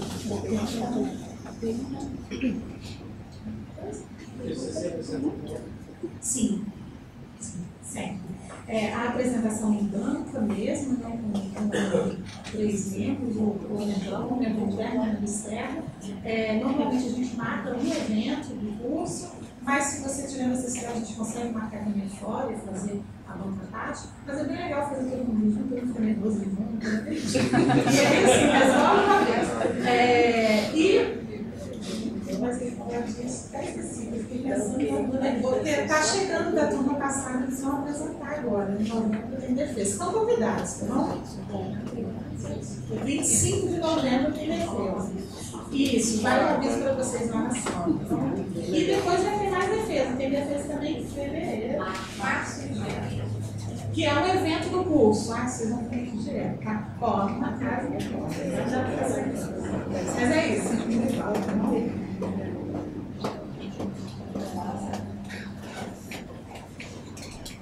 Então, conversando ali fora, foi bem legal, porque a gente está acostumado, hoje vocês já fizeram cursos à distância. E que vocês estão acostumados com um determinado modelo, que é um modelo muito daquilo que a Vanessa estava falando, a UAB, o DETEC, e com a presença de uma figura muito importante na educação de ciência, que é o tutor. Aqui, a gente tem a atividade de tutoria. Essa figura continua sendo importante, só que ela está materializada no professor da disciplina. Então, a gente tem algumas diferenças metodológicas que quem já conhece a distância vai perceber. Mas assim, apostamos nisso, como a gente tem falado, são formas diferentes de se fazer educação à distância. A ideia é que você não sinta falta do tutor, então, quando eu sou tutor, ou seja, a presença daquele que vai fazer isso, continua no seu professor, tá bom? Com isso, normalmente, quando a gente tem curso à distância, o tutor ele responde até 24 horas, a gente manteve. Só só para dias úteis, não lembrando, às vezes você tem uma dúvida se for no feriado, você precisa organizar, para que isso não, não ocorra no tempo que você precisa de resposta imediata ali, porque o professor não vai ter essa condição. Mas em dias de semana, em dias úteis, vai funcionar dessa forma, tá bom? É, a sala costuma fechar as, as atividades na terça-feira até por conta do que a gente sabe. Às vezes é necessário você tirar um tempo no seu final de semana. Não é o ideal, mas todo mundo sabe que, como a gente trabalha, muitas vezes a gente faz isso. E como você não vai ter resposta imediata no final de semana, tem a segunda-feira, tá? Então, fazendo essa organização, dá para ter. As atividades vão fechar na terça. Ali, a avaliação, a avaliação tem uma coisa muito importante. É, os cursos de pós-graduação de ciência no Brasil, estou falando, obviamente, de instituições sérias, que tratam a lei é, realmente pé da letra, eles são considerados oferta única. Então, assim, eu disse para vocês, vocês são a terceira turma, então pode ser que não tenha outra, porque eu dependo de uma autorização. Então, o que, que acontece com isso? Uma coisa muito importante. Se você não cumpre a disciplina, não é igual a graduação. Você não tem a oportunidade de fazer ela de novo. Então, assim, isso tem que ficar bem atento. Porque às vezes a pessoa acha que vai conseguir na próxima turma. Pode haver, mas pode não para essa turma. E você tem que passar de novo pelo processo de seleção. Então, assim, tentar fechar mesmo, sempre lembrando de fazer essa atividade, de tá, de tá, sabe, tem um tempo, as atividades elas, têm, elas são pensadas para dar um tempo de maturação e um tempo para que você se organize, para que você não, não perca a disciplina. Porque ao perder a disciplina, automaticamente você é cancelado. Então, cancela essa matrícula. E é por conta disso, ser oferta única. Tá bom? Agora, vamos dizer, ah, mas e eu? Cancelei. Se tiver uma outra turma, eu posso aproveitar? Sim, certamente. Inclusive, a gente tem duas pessoas até, se não me engano, isso, vão aproveitar a disciplina. Naquele cronograma tem um período agora aqui que vai estar aberto para vocês enviarem, tá? Então, é previsto, sem problema nenhum. Mas não sei se vai ter outra oferta, né? Então, eu preciso alertá-los quanto a isso. Ok? Eu tenho 53. Essa coisa, 50 tem que fazer também, ou a mesma disciplina? Então, a gente não tem nenhuma disciplina assim que é. Né, essa é a vantagem e a desvantagem de estar no curso que pensa numa metodologia diferente. Porque, assim, a, a vantagem é que é tudo novo. A desvantagem é que, infelizmente, nem sempre você consegue aproveitar todas as disciplinas. Se você fazer o pedido, o colegiado vai olhar. Aí ele vai te dizer melhor quanto que tem de, aproxima, de aproximação. Mas a nossa ideia, por exemplo, uma coisa que tem muito em ADA é você aprender as coisas do mundo. Né? Isso não tem na nossa. A gente entende que a pessoa vai usar na discussão sobre educação à distância e com isso ela vai aprender. Então é um outro foco. Mas eu te aconselho a pedir, né? Eu, eu falo sempre, não seja atento. Você tenta e aí é feita uma relação. Muita gente me pergunta da matéria de metodologia por exemplo, que já fizeram outras pós e normalmente tem metodologia. Metodologia costuma também ser próximo, mas o que acontece aqui? Faz parte de um projeto integrado. Então, você pode até receber a autorização de nova metodologia, mas vai caminhando junto às outras disciplinas, na sala. Então, assim, não, acaba não fazendo tanta diferença quando você é responsável. Mas, volto a falar, é um direito de vocês eu acho que vocês devem realmente tentar. O colegiado analisa, vocês têm a resposta depois isso é viabilizado na sala. Tá bom? Alguma outra? Esse aqui, né, já falei para vocês, além dos momentos presenciais, o que, que acontece? Ao longo da história do curso, nas turmas, a gente tentou diminuir esse, esse momento presencial. Não porque a gente não considera importante, eles são importantíssimos, mas a gente tentou viabilizar, por exemplo, para quando você mora longe, para quando você tem, ah, professora, eu estou na ossado. Então a gente diminuiu ao máximo, ao máximo. Vocês podem olhar para o meu que vocês vão ver isso. Só que, para poder vocês não ficarem muito longe da gente, porque se vocês ficarem muito longe da gente, vai falando assim, você mais fazer, eu choro, entendeu? Porque não pode ser assim. Então, você, é, Mariana, então, Então, o que, que acontece? Nós vamos marcar, esse não está no cronograma, mas fica falado na sala, a gente conversa, acerta tudo. Os dias de webconferência. Porque vocês vê lá meu rostinho, Gabriela, assim. Não tá o Felipe, lá cadê o Felipe? Que tá todo bonitão, já foi? Eu pensei. Tava, tava marcado, na hora que faz Felipe, É, obrigada, obrigada. É, então eu preciso que a gente tenha mais, ficar mais perto e usando tecnologia. Então a gente tem momentos síncronos.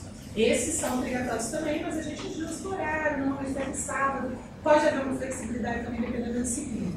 Então vocês vão ter o primeiro, já posso passar a data para vocês, de 2. Dia 2 de dezembro, esse, esse é o primeiro, uma webconferência, tá bom? Mas ele, não se preocupem, é, não é todo mundo que tem que estar também com câmera, então vai ter toda uma estrutura porque se refere a uma atividade da sala. Mas só para vocês saberem, então o encontro presencial está lá onde? Mas a gente vai ter pequenos encontros que vão ser síncronos, só na distância, mas a gente acaba ficando mais pertinho, para não ficar só na mensagem, tá bom? Uma dúvida sobre isso? Pessoal lá atrás, alguma coisa? Ah, tá vendo? Pode Pessoal lá atrás, levanta a mão. Forma de tratamento. Olha, é, o curso de é uma coisa muito interessante. Já passei. Eu estou no curso de tem pouco tempo, porque eu sou muito jovem. Mas quem está mais tempo, conta. Mentira, você é e aí, assim, é, eu já tive aluno, por exemplo, que à distância escrevia textão, tá na moda, né? Mas já tá na moda tem tempo. Aí escrevia textão, reclamava. Aí um dia eu tive a oportunidade de conversar, porque ele era tão gente boa. E ele ficou todo chateado, eu conversava com ele, assim, não, professor, mas você me desculpa, sabe como que é? Às vezes a gente se exalta. Eu, eu fiquei tão feliz de ter conversado com ele, porque eu estava achando que ele era, ele era uma pessoa muito assim, né? Já estava para falar com ele. Porque era aquele textão, aquele jeito de falar muito duro. Não é? Eu, eu gosto de usar emoji. Eu gosto muito. Eu, eu uso direto os emojis. Por quê? Porque daquele jeitinho. Mas eu tento não usar tanto lá na sala. Acho que a Esther que usa, chama você, né? Mariela adora, ela já tentou até novos, entendeu? Vai aparecer Marielinhas lá na sala, porque ela adora. Eu uso tanto assim, mas eu gosto, porque dá, dá um jeitinho melhor pra gente falar, né? Não fica tão duro. Na escrita, às vezes é difícil passar o que a gente está querendo. Então, para isso, que às vezes acaba exaltando, existe um código. Esse código de ética, ele se refere também à educação à distância. Mas eu tenho certeza que a gente não vai precisar aqui. Né? Dá uma respirada antes, estiver muito nervoso, dá aquela respirada, ajusta o cabelo e vai a fé, porque dá uma melhorada na hora de escrever. Outra coisa, na educação à distância, tudo é escrito, né? Se você não tem atividade. A gente tenta ainda, né? Usar outras linguagens. A gente usa imagens, usa vídeo, mas vai aparecer o conteúdo escrito. E quando aparece o conteúdo escrito, muitas vezes, sem querer, é, é verdade, muitas vezes sem querer a gente se apropria de algumas ideias. É comum isso. Ideias a gente ressignifica, mas a gente precisa dar a devida autoria. Então sempre lembre disso, tá? Você ouvir aquele autor, anota. Coloca lá qual é o autor, para na hora que você precisar da ideia, né, você ressignifica com as suas palavras, você deve adorar. Né? Tem sua metodologia, vai adorar. E aí você coloca lá, fulano. Isso é adoro. Então, assim, faz isso. Isso é um exercício, é prática. Tenho certeza que vocês têm feito. Então, vamos lembrar de continuar fazendo isso, tá bom? A avaliação. Ah, quando tem o, o, os, os componentes curriculares, disciplinas, eu começo a perguntar vocês. Questão da avaliação. Às vezes, durante uma. É o que a Vanessa falou, você viu uma coisa que poderia ter sido melhor. É que a gente, naquele momento, fez aquilo, a gente entendeu que aquilo era melhor, mas não tinha visto ainda como isso seria. Dá um retorno para a gente na avaliação, porque aí a gente vai conseguir refletir, ver se é possível mudar. Então, a, acaba sendo assim, poxa, mas são quatro componentes, eu tenho que avaliar os professores do componente, eu tenho que avaliar o componente, mas isso ajuda, porque fica o registro do que a gente pode melhorar ou do que você gostou também. Tá bom? Então não fique chateado quando eu falar questão de avaliação, tá? Fica legal comigo.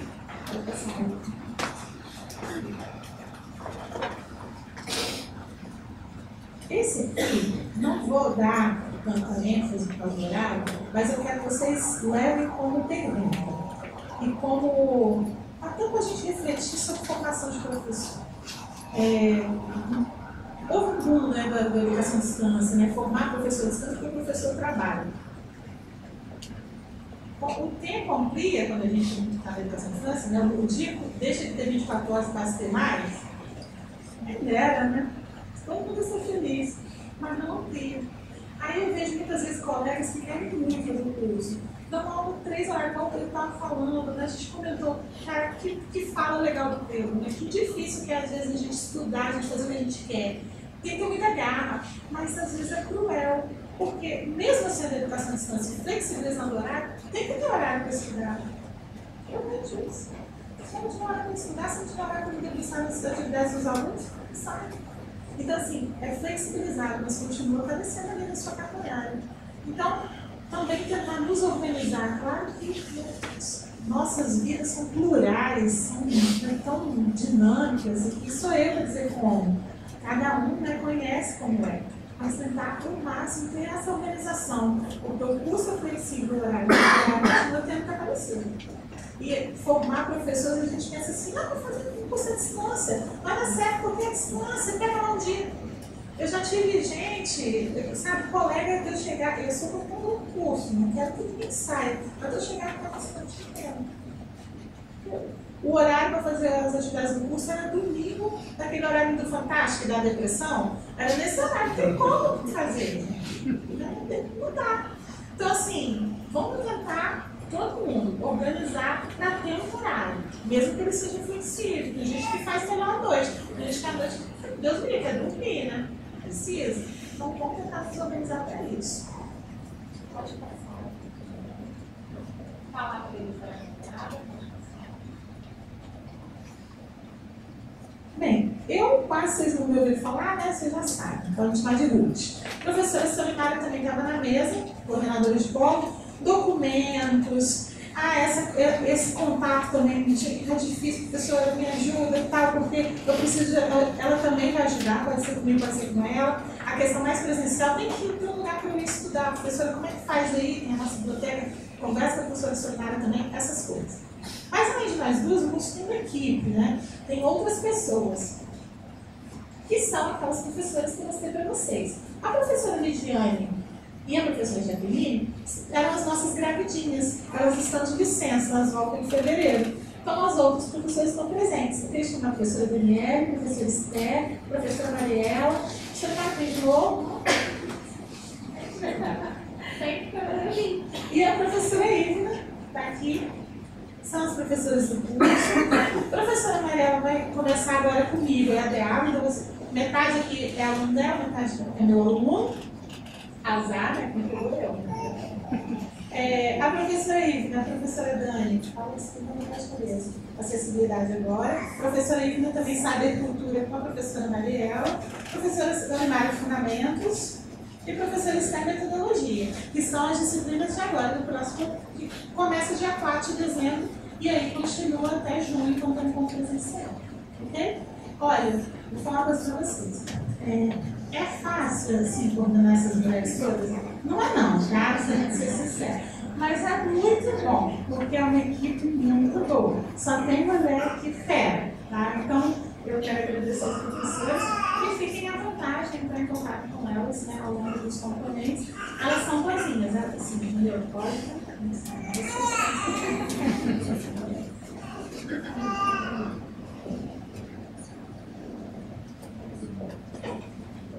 aquela aqui, talvez a mais esperada, todo mundo me perguntou. Meu, o e-mail, esse é do, o senhor responde. Esse é o e-mail oficial. Tá na sala, tá? Ah, é, não, tira foto, não tem acesso à sala, tira foto. É, o terceiro está lá também, mas tirem fotos, principalmente quem tiver problema da senha. E esse aqui são os contatos do polo. Como a professora Solimara falou, está ali no período que ela vai estar presente aqui. Fora isso, você pode mandar um e-mail que a gente responde também. A professora Solimara atende no e-mail do polo e ela tem um e-mail no curso. Tá bom?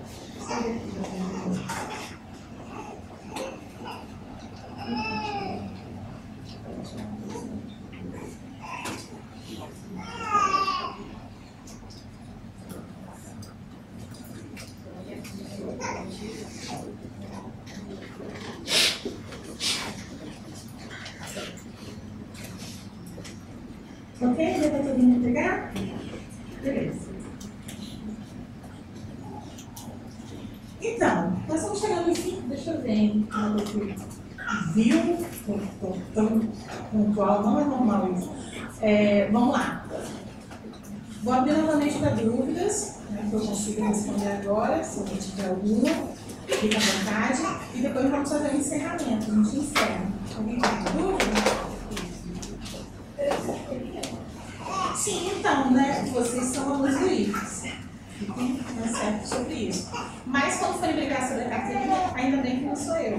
Porque o ano passado teve um problema com a empresa que fazia impressão, demorou horrores. Aí todo mundo estava enlouquecido, porque queria ir para o cinema assistir o filme, né? Achou que ia ter tempo, né? Aí depois deu busco, fui bater, quando chegou a carteirinha. Mentira. É, o negócio da carteirinha é que a secretaria acadêmica que faz o pedido. Então, eles processam a matrícula, fazem a solicitação e avisam a vocês. Aí vai para o polo e a professora Sormar fica com elas. Quem mora perto é fácil, porque ele vem aqui, busca, na sua e tal, a gente pode marcar um dia, gente Mas para quem mora mais longe, muitas vezes fica até o dia como presencial. Aí você vê o que é possível para fazer, né? Quem mora mais longe pode fazer. Você falou do, que o e-mail pode estar no lixo. Se eu quiser buscar lá no meu, é, lá no meu e-mail, na, digitar lá na busca, tá como o, o, o remetente, do, o nome do e-mail, você sabe? Administrador. Administrador. Ah, tá, administrador. Tenta, joga CFO, porque na geral. Vai aparecer novo administrador. usuário. Administrador. O é administrador Esse e-mail, ele só vai para aluno. Como eu falei, vocês vai gerado automaticamente pelo Ava para vocês. Eu não recebo. Então, assim, eu, eu, nem sei como ele é. Mas eu aconselho a jogar CFOP geralzão. Normalmente deve aparecer que eu tinha CFOP. Deve ter uma coisa assim. Sistemas.cfop. Beleza. Vira aí o colega sistema.cfop. Sistemas.cfop. Isso. É, quem já entrou viu que a sala está aberta. E isso é muito importante, então galera está lembrando. Quando vocês entrarem, não entra só para poder dizer, ah, eu entrei, né, já garantiu. Entra na sala, que aí o amarelo vai saber quem é que já acessou. Então você vai lá na sala de EDA e entra lá, para poder aparecer depois que você acessou com a gente. Aí dentro. Tá. Clica no linkzinho verde da sala, EADA. Você entrou, vai aparecer a sala disponível para você. Clica lá. Aí dentro da sala já tem aberta a primeira semana. Tá? Ela já está, ela inicia hoje. Excepcionalmente, ela está iniciando no sábado. Normalmente, as semanas iniciam na segunda, tá? Como a gente tem a aula, iniciou hoje. E aí, já tem lá as atividades, as informações. Nós vamos também mandar mensagem para vocês. Mas se vocês quiserem olhar, ela já está disponível. A primeira semana está toda aberta, além de uma parte inicial explicando as, as coisas, um videozinho. Tem as coisas todas lá para vocês olharem sim. Então, já tem a gente Então, essa é a questão para aluno, mas eu não conto. Eu sou só de idade. Ponto. Ó, deixa eu dar dica. Então, tem o encontro presencial tem a avaliação. A avaliação fecha as disciplinas. Essa avaliação, ela costuma ser das questões mais importantes que foram tocadas. Como nossa, vamos dizer assim, a prioridade são os projetos, normalmente a avaliação se refere ao projeto. e é muito difícil que seja uma avaliação escrita, com um objetivo, muito você não. Mas vai que, né, a gente resolve, então não vai ser muito. Mas não, não costuma ser, costuma ser seminários, apresentações, práticas, coisas assim. Mas deixa, né, deixa eu interromper isso. Pode ser.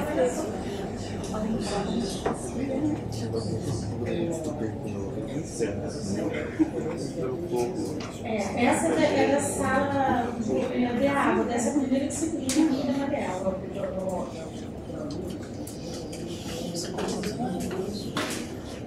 Fica tranquilo que a gente explica lá como é que é, lá para justificar. E, e volta a falar, isso daí é um encontro, ele, ainda que ele vai, mas ele não é o encontro presencial que é obrigatório, aquele oficial. Aquele oficial falar no cronograma como é. Esse é da disciplina, né, ele vai para a ocupação, e é uma forma de a gente continuar conversando mais pessoalmente, não ficar tão distante. Tá tem outros já, depois que a sala que vai abrir, as que vão já para exemplo, tem mais uma.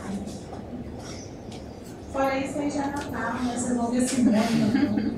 Tá bom? Tem mais dúvida? Gente, ó, foi um prazer ver. Ah, peraí, peraí, peraí, peraí, peraí, Deixa eu passar as fotos. Thank you.